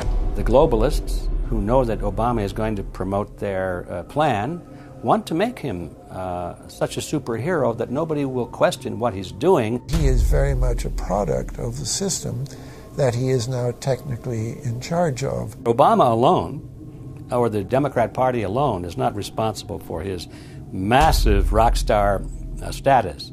It's been done by the media. This establishes that Obama is an unapologetic globalist who holds no one nation above another, despite its policies. Perhaps we should move towards a society more like China if that's the case. After all, on the 60th anniversary of the Communist Mao regime takeover, the Empire State Building, once a proud symbol of the United States, was lit in the colors of the Communist Party halfway across the world. In fact, following the United Nations Copenhagen Conference in December of 2009, the Washington Post ran the headline Copenhagen Climate Deal shows New World Order may be led by US, China. The Copenhagen Conference was disguised as a summit that would save the planet from man made global warming by cutting carbon emissions. When taking a look at the almost 200 page document that was being proposed, it becomes evident that this was yet another attempt to establish global government and set up a global tax. In Section 38, it states The scheme for the new institutional arrangement under the Convention will be based on three basic pillars government, facilitative mechanism, and financial mechanism. In Section 47, subsection F, it discusses cap and trade schemes and carbon taxes and the use of new and existing flexible carbon market mechanisms. These cap and trade schemes were just that a scheme to further transfer the wealth from the poor to the ultra rich. One of the ways it will drive the change is through global governance and global agreements. The fact that our president even attended should be considered treason. Just weeks before the conference, ClimateGate hit the media. Secret emails confirm that many of the United Nations lead scientists had engaged in fraud in order to promote the idea that man made global warming was occurring and that carbon dioxide was a toxic gas. In reality, they admitted the Earth had been cooling for the last decade and that they had destroyed the source data in order to ensure the scientific community would be unable to review their findings. Phil Jones was forced to resign from his position at East Anglia University, and Penn State has launched an investigation into Michael Mann. Because of the scandal, many countries refused to sign the agreement, and instead only 25 heads of state, including rock star president and savior Barack Obama, signed a much shorter and broader accord. The document states that a high level panel will be created, and that parties will be subject to domestic auditing, supervision, and assessment. The climate conference in Copenhagen is another step towards the global management of our planet. The idea that carbon dioxide, the life force for plants here on Earth, is a toxic gas and should be taxed is laughable. There have been numerous periods of time in which the Earth has had vastly more carbon in the atmosphere than present day. In areas where there have been volcanic eruptions which emit large amounts of CO2, plants have benefited, and there is no negative impact on the surrounding environment, as well as indigenous people from the excess carbon dioxide. The globalists promote this theory to keep mankind in fear, not only for the establishment of a global government and a global carbon tax, but the literal control of the entire planet. an even darker side to the scam of man made global warming exists. In reality, it's about population control. Ted Turner reveals himself here in this interview with Charlie Rose. We've got to stabilize the population. When I was born, No, there were so what's wrong with the population? I mean, with too many people. That's what. That's why we have global warming. We have global warming because too many people are using too much stuff. We've got to stabilize population on a voluntary basis. Everybody in the world's got to pledge to themselves that one or two children is it. Not doing it will be catastrophic. We'll have eight degrees. We'll be eight degrees hotter in 10, not 10, but in 30 or 40 years. And basically, none of the crops will grow. Most of the people will have died, and the rest of us will be cannibals. Civilization will have broken down. What the few people who are left will be living in a failed state like Somalia or Sudan, and, and living conditions will be intolerable. The droughts will be so bad there'll be no more corn growing. It, it will. It, not doing it is suicide. Unbelievably, when Turner met with other globalists, David Rockefeller, Warren Buffett, Bill Gates, Michael Bloomberg, and even Oprah Winfrey to discuss population control, they were portrayed as superheroes. Behind closed doors on this New York campus, a secret gathering of some of the world's most powerful people Gates, Buffett, Bloomberg, Winfrey. It was like, well, it was like the Super Friends.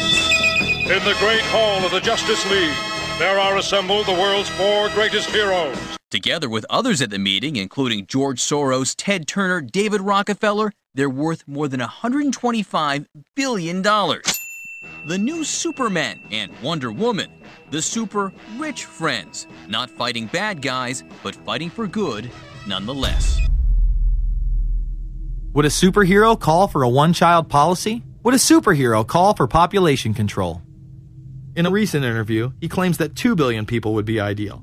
That means 4 billion plus must die to accommodate a man who owns more acreage than anyone else on the planet. Let's not forget that Ted Turner is the president of the United Nations Foundation. There are countless examples of how we are being indoctrinated to accept these kind of conditions and believe that man and his activities are the problem. From the promotion of climate cops We're the carbon cops and we're on the lookout for energy wasters. to phony liberals and conservatives getting together to promote climate change. Hell, let's face it, we're polar opposites. We couldn't be further apart. I'm on the left, and I'm usually right. And we strongly disagree. Except on one issue. Tell them what it is, Reverend Pat. That would be our planet. Taking care of it is extremely important. We all need to work together, liberals and conservatives. So get involved. It's the right thing to do. Now, there you go again. The New World Order will stop at nothing to achieve planetary dominance, whether it be assassination, wars based on lies, and even a phony environmental movement. So it should come as no surprise that they have been tracking, tracing, and databasing our lives for years. Many people are aware that the Bush administration engaged in warrantless wiretaps on American citizens. What they don't understand is that it's come out in court that all the major telecommunications companies have been secretly storing every piece of data received from our phones and our computers and handing them over to the National Security Agency. You heard about the government secretly listening in on phone conversations without a warrant, but there is evidence that your email is also being tapped. The government has been intercepting most emails as part of its terrorist surveillance program. That program has been criticized as illegal because it's missing an important ingredient search warrants. Several years ago, Klein says he came to suspect that AT&T had installed secret computer gear designed to spy on internet traffic at the request of the National Security Agency. This is just a small part of the picture, as AT&T was not the only company involved and emails were not the only issue. The NSA was installing Narus Insight systems, which are capable of monitoring billions of bits of internet traffic per second. It was also able to monitor any calls traffic through its system, all websites visited, all instant messaging, and separate types of transaction records. The secret room at AT&T contains gear which enables the government to look at every individual message on the internet and analyze exactly what people are doing. Here's another document. It mentions a company called Narus. Narus makes computer software that can swallow and analyze 10 gigabytes of information every second. That means it could go through all the information in all the books in the Library of Congress in a little over 15 minutes. The documents Klein and others were able to produce were then censored by the NSA. Bankston isn't allowed to talk about the documents in detail. The government has since had them sealed. But he says what is in there boggles the mind. We are talking about a substantial portion of all the communications traffic in the United States. The policies have been shielded by the Obama administration and continue to this day. Attorney General Holder has publicly stated lawsuits be thrown out of court, and after several attempts, Klein and other cases were thrown out as well, once again citing the national security of what used to be a constitutional republic, not a massive corrupt slave state. Living in the New World Order when it's close to completion eh, for the average citizen, for people like you and me, is going to be essentially slavery. We're never going to be able to get ahead. We're never going to be able to amass enough wealth, uh, essentially to retire or to, to do what we want to do in life. We're going to constantly be working for the man. They're creating essentially a two class system. So it's going to be an inner ruling elite and then everyone else. And I got news for you you're everyone else. The New World Order that is currently being built revolves around creating a global technopoly ruled by the elite, in which they dominate and control a severely reduced populace, which they treat as their pets. In the New World Order, the people are the enemy. Internal documents released in March of 2009 reveal that the Department of Homeland Security is targeting citizens who discussed the New World Order, people with a Christian identity, or sovereign citizens who argue that the government has gotten away from the intent of the Constitution and are strong states' rights advocates. People who are anti immigration, stating, extremists will argue that immigrants are taking the jobs of U.S. citizens during times of high unemployment and without paying taxes. People who oppose the Federal Reserve banking system. People who display constitutional party or libertarian material. People who support Ron Paul. And those who have bumper stickers containing anti government rhetoric. This document is one of literally thousands that make everyone a possible terrorist. This establishes a pattern of demonizing ordinary citizens while giving draconian powers to the state. You are considered guilty until proven innocent. As technology is developed, separate parts of their command and control system are beta tested around the world. Here at home, Boy Scouts are being trained to take on returning veterans and disarm domestic extremists, while national programs such as City Year are training young people to serve the government. I am change. I am fierce. In the United Kingdom, it has been established there are over 4 million CCTV cameras. That is around one camera for every 14 citizens. Their purpose is not to solve crime, as it takes 1,000 CCTV cameras to solve just one crime. It is to create a tattletale society in which everyone is under constant surveillance by the state and those around them. The company Internet Eyes is now paying people to log onto the internet and watch CCTV cameras in real time as they turn in criminals for cash. Families deemed by the state to be unfit in England have now been put under 24 hour CCTV supervision in their homes. This program has plans for 20,000 families in England, which is to double in the next two years.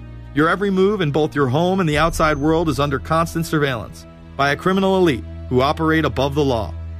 As we are constantly under the microscope, their activities remain in the shadows. Obama extended diplomatic immunity to Interpol with Executive Order 12425 further empowering criminal behavior within our own government. In the Middle East, endless wars will continue. Under the Obama administration, we have sent tens of thousands of more troops into Afghanistan. All while the same network exposed in the Iran Contra affair discussed earlier controls the opium trade. It was revealed in October of 2009 that the CIA had been funding puppet Afghani leader Hamid Karzai's warlord brother for the last eight years. He is the lead opium dealer in the region it seems the same cartel that was dealing drugs in the 80s and 90s never stopped. After all, how else could the government fund black operation programs across the board? The Karzai regime has whole sections of it which are drug supported, and uh, we can't touch it. We turned Afghanistan into the major supplier of heroin for the world. It happened under CIA supervision. This continues while many of the Taliban are literally on U.S. payrolls. Is there a possibility that we have Taliban employees? Uh, the commander in the field, or the, I should say the uh, COCOM commander, General Petraeus, has made it a conscious effort to, uh, as part of his coin strategy, to hire local nationals. Uh, I can't talk in this in this form, nor am I the qualified guy to talk about it. But uh, there is no doubt in my mind, one day you're on one side of the ledger, the other day you may be on the other side of the ledger. Biometrics have been instituted in both Afghanistan and Iraq, where individuals are subject to fingerprint devices, iris scanners, and electronic databases to screen local residents as well as DNA tests. This includes anyone within the populace of a combat zone. Someone has to go out there with the biometric registration equipment, take your iris scans, take your take your scans and get you registered in the system like that. As scary and tyrannical as these systems seem to be, none may be as dangerous as the implantable RFID microchip. Through various pretenses, including terror, security, and entertainment, the chip has been promoted and integrated into society. In 2001, following the 9 11 terrorist attacks, the Jacobs family became the first family to be injected with microchips in front of a live television audience. We have a Florida family uh, who are really pioneers in a brave new world. They have volunteered to be the first ever to have microchip identification devices implanted into their body. After 9 11, I was really concerned um, with the security of my family. In 2004, the FDA approved the use of RFID technology to be implanted into human beings. However, studies dating back to the 1990s show the implantable microchip has been linked to cancer in animals, but this has not slowed the agenda of control. In Barcelona, trendies get chips in order to receive VIP status at the exclusive Baja nightclub. A simple swipe of the arm get them in without a line, and it pays for their drinks too. The Mexican government also chipped employees for security measures in 2004. We were interested today to hear that more than 100 law enforcement officials in Mexico are having microchips implanted in their arms. The chips allow a person to be scanned, sort of like a cereal box at the supermarket checkout. Mexico's Attorney General and 160 of his deputies have had microchips implanted in their arms. It is to provide access, said the Attorney General, to the right people in exclusive areas. Today, aside from being promoted as a device that can save your life by storing all of your medical information in it, it is being promoted as the next generation tool for video gaming. Sega developer Yu Suzuki plans on developing gaming technology using implantable RFIDs. He states, people that have some sort of chips in their bodies, to be able to keep track of vital signs, so it doesn't have to be a scary thing. But you could put a sensor here, you know, a bit like the Matrix, as he points to his arm. It's not really something only in the future. Some people already have them, chips in their bodies. Suzuki is correct. It has never been easier to order a microchip online and implant it under your skin. Microchips implanted in your hand, arm, or shoulder is just the beginning. Some have already taken implantable brain chips that may enable the blind to see again, the deaf to hear, and much, much more, including the ability to download information directly into the brain and instantly communicate with anyone in the world, creating a worldwide mind. It's very interesting that the way that the New World Order is going uh, is moving towards a system that is identical to that, whether it's going to be an implantable microchip, an RFID, uh, a thumb scan, whether it's going to be some sort of a, a tattoo. Imagine a planet where every human being is required to be chipped at birth. This would be the final tool implemented in a command and control world government system in which the elite rule the masses with total control of their lives. This is, of course, a terrible uh, predicament for those of us who are convinced that this system is slowly but surely destroying this country and has to be changed. But we can't count on the elected presidents to do it, and we can't count on the elected Congress to do it. We somehow have to mobilize the technological resources of the internet to create some kind of new political force in this country. So, is there anything else about the ruling class we should know? Politicians, business leaders, and media figures are often portrayed as pillars of morality while they describe themselves as Christian conservatives. Nothing could be further from the truth. In reality, many of the elite are groomed at a young age to take part in occult rituals. Those who attend Yale are indoctrinated into the Order of Skull and Bones, an elite secret society cloaked as a fraternal order. Yale University is 300 years old this year, and were you to visit its campus, you would see that it still has exotic clubhouses which look like tombs where Yale's legendary secret societies meet. Their prestige and importance have largely evaporated, but the rituals are still a secret. And so when we heard that some enterprising characters had managed to spy on the famous Skull and Bones Society, we couldn't resist. Skull and Bones, people say it's a fraternity at Yale University, but it's really a postgraduate organization. So it was founded in 1832. And it's not like a normal fraternity. People don't pledge. These people choose who they want to come. So they do the recruiting. They recruit 15 people every year people who they see are going to be powerful people in the future. So they're recruited when they're a junior in college. A lot of these people come from really wealthy and influential families because they know that this person has the resources to then elevate them to a position of power that can benefit the club.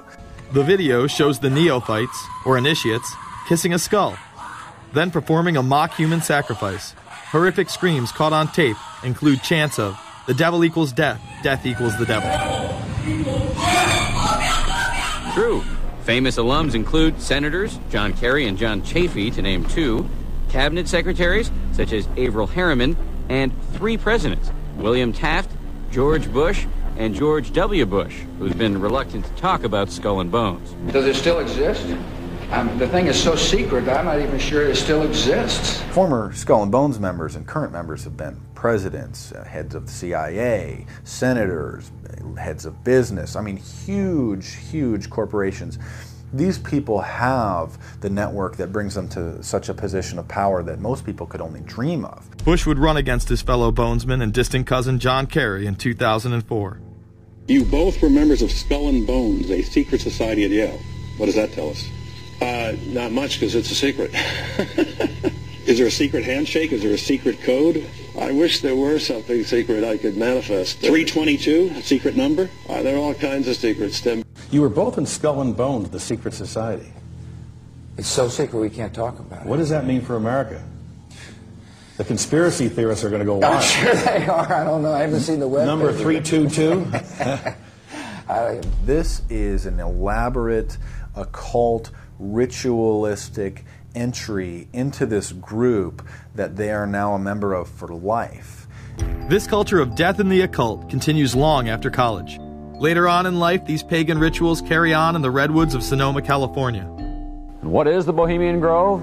Well, it's a kind of summer camp for the powerful, an all male gathering in great secrecy. This group was formed in the late 1800s by artists, industrialists, and politicians. Bohemian attendees worship the owl as their deity. The Aztecs, Mayans, and other natives of Mesoamerica considered the owl a symbol of destruction and death. This is why the opening ritual for the club is the cremation of care. During the ritual, the effigy of a baby is rowed across the water by the Grim Reaper and given to a high priest, who then tosses it on a fiery sacrificial altar of a 40 foot owl god. It is an earth based ritual in which care is burned away. The conscience is symbolically cast aside so that they may ignore the pain they have inflicted on others the advancement of their own agendas. With this ceremony called the cremation of care, that uh, begins the, uh, the uh, two week encampment where the body of dull care, symbolizing woes and concerns, is burned on an altar in front of a big owl statue. When that ceremony ends, they all start to cheer and yell.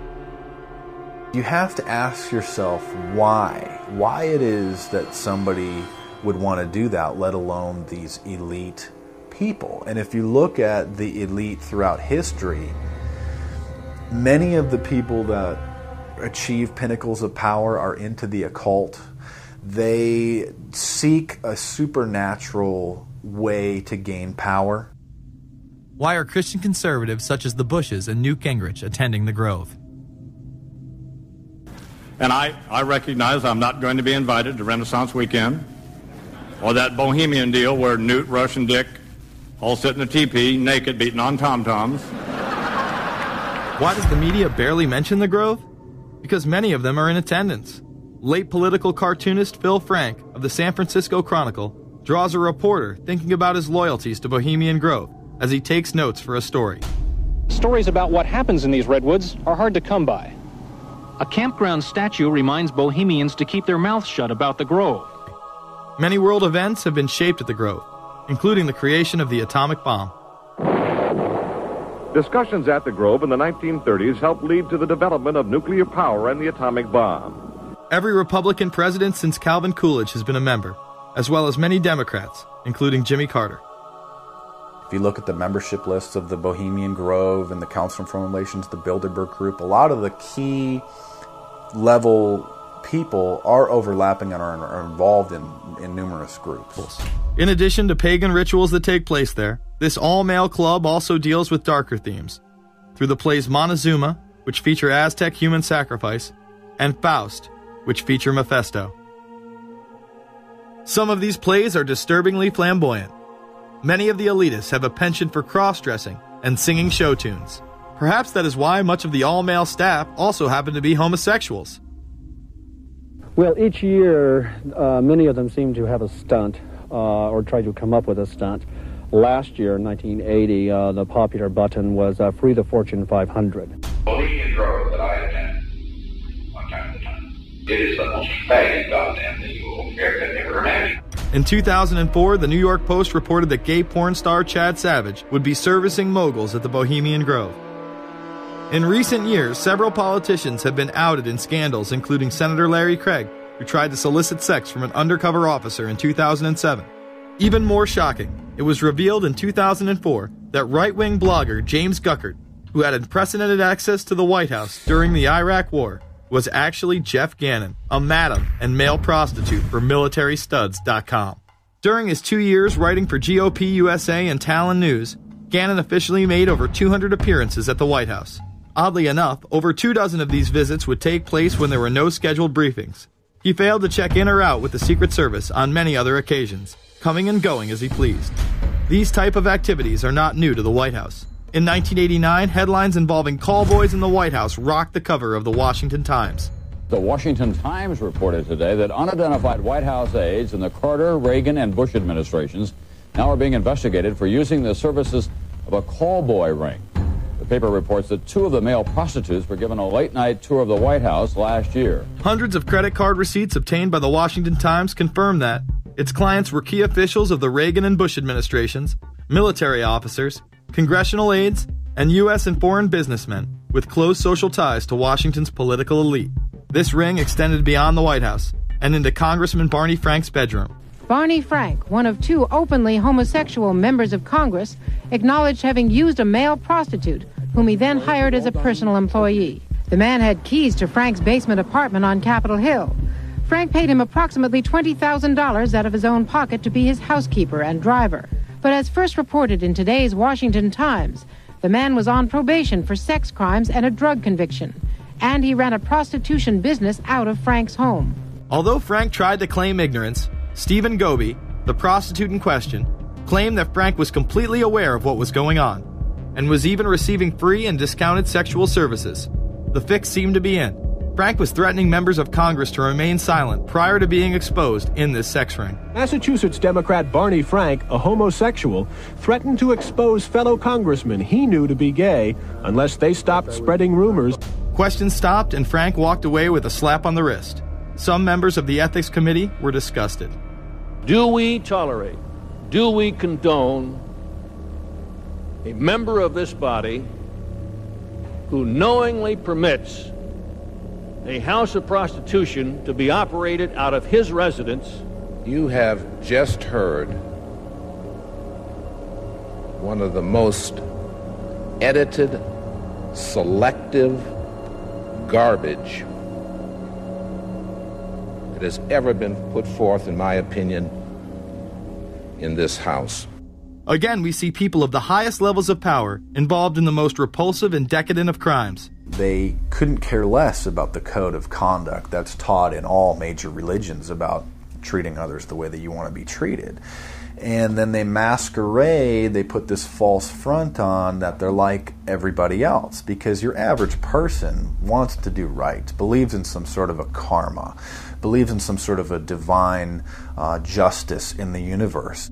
And so these people need to put on this front that they're like the average Joe in middle America, that they go to church every once in a while, and that they believe in an afterlife and a divine justice. And so they have to put on this front that they're like everybody else in order to get elected and to be accepted and to not have people look at them suspiciously because if somebody goes around and openly admits that they were an atheist or that they were of some obscure religion, uh, people aren't going to throw their support behind them as much and they're not going to trust them as easily. The reality of this behavior is never revealed to the public, as the media keeps any revelations quiet. Unfortunately, these type of activities continue to this day. Florida Congressman Mark Foley chaired the House caucus on missing and exploited children and went on television praising Chris Hansen's To Catch a Predator series. The Dateline piece has probably done more than any law we can create. Foley was later caught attempting to have sexual relations with numerous underage pages. Congressman Mark Foley, the man who championed the Child Protection Act of 2006, resigned after inappropriate emails and instant messages surfaced that he sent to former congressional pages. Once more, no charges were even filed. Foley himself has checked into rehab. No one has been charged with any crime. The predator class acts like Roman emperors, indulging in excess that includes sex with young boys while portraying themselves as men of the Lord. The insanity is that we have allowed an interwoven elite criminal class to rule over us while posing as the saviors of the planet. We have learned they will stop at nothing to achieve their goals and are not held accountable for their crimes. They prey on the system rather than protect it. This is not a new world order of peace and prosperity. It is not a world government to save the earth. During difficult times, we must remain ever vigilant against seemingly positive solutions imposed to suit their aims. Crises there will continue to be. In meeting them, whether foreign or domestic, great or small, there is a recurring temptation to feel that some spectacular and costly action could become the miraculous solution to all current difficulties. We are threatened by a superclass that control the flow of information and hide technology from the public. The prospect of domination of the nation's scholars by federal employment, project allocations, and the power of money is ever present and is gravely to be regarded. We must also be alert to the equal and opposite danger that public policy could itself become the captive of a scientific, technological elite. It is time to put down the remote control, to turn off your Xbox, and start paying attention. It is time to step away from everyday luxuries and pop culture and take action against a monolithic, concentrated evil in order to save what's left of humanity. We must now trade in our apathy for action in order to defeat this invisible empire.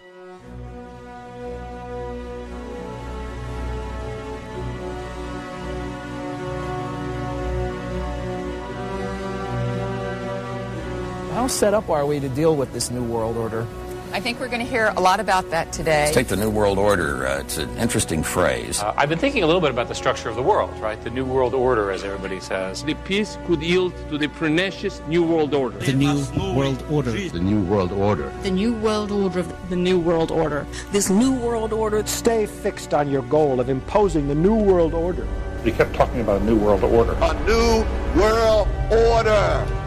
That's what we need now a new world order with swing. One war and one victory doth not a new world order make. Conservatives used to believe in the United States of America rather than the United States of the New World Order. The ambition to create a new world order. Whose world order is this? And of course, what he called it was the New World Order. Respect for a new world order. We can see a new world coming into view, et cetera, et cetera. That's the core of the new world order that we want to try to build. It's the sole superpower, new world order. New world order. A new world order. To a new world order of peace. Let's say a new world order, for want of a better term. Entities of the new world order. The whole concept of New World Order is something else. It really says that the state is God. The state will play a bigger role in the economy. New order. What Wilson wanted was a new world order not just a new world order. In order to compete in the new world order, compete in this new world order. This is the third leg of the new world order. We had the World Bank, we had the IMF, and now we had the World Trade Organization. A rigid new world order. This hoped for new world order. Constructing a new world order. In the new world order of the 21st century. The new world order we're going to put in place in this new world order. In this new world order. The patriots in this country are not going to see their rights diminished in order to create a new world order. That President Bush has described as a new world order, which I share that that we all share that same desire. A new world order is surely in the making here. Are we ready for the new world order? It's a timely and often controversial question. You don't hear a politician speak the way you do in America. It's about the future of Europe and a new world order. Mr. President, thank you so much, and I hope to have you again, and I hope to see you again.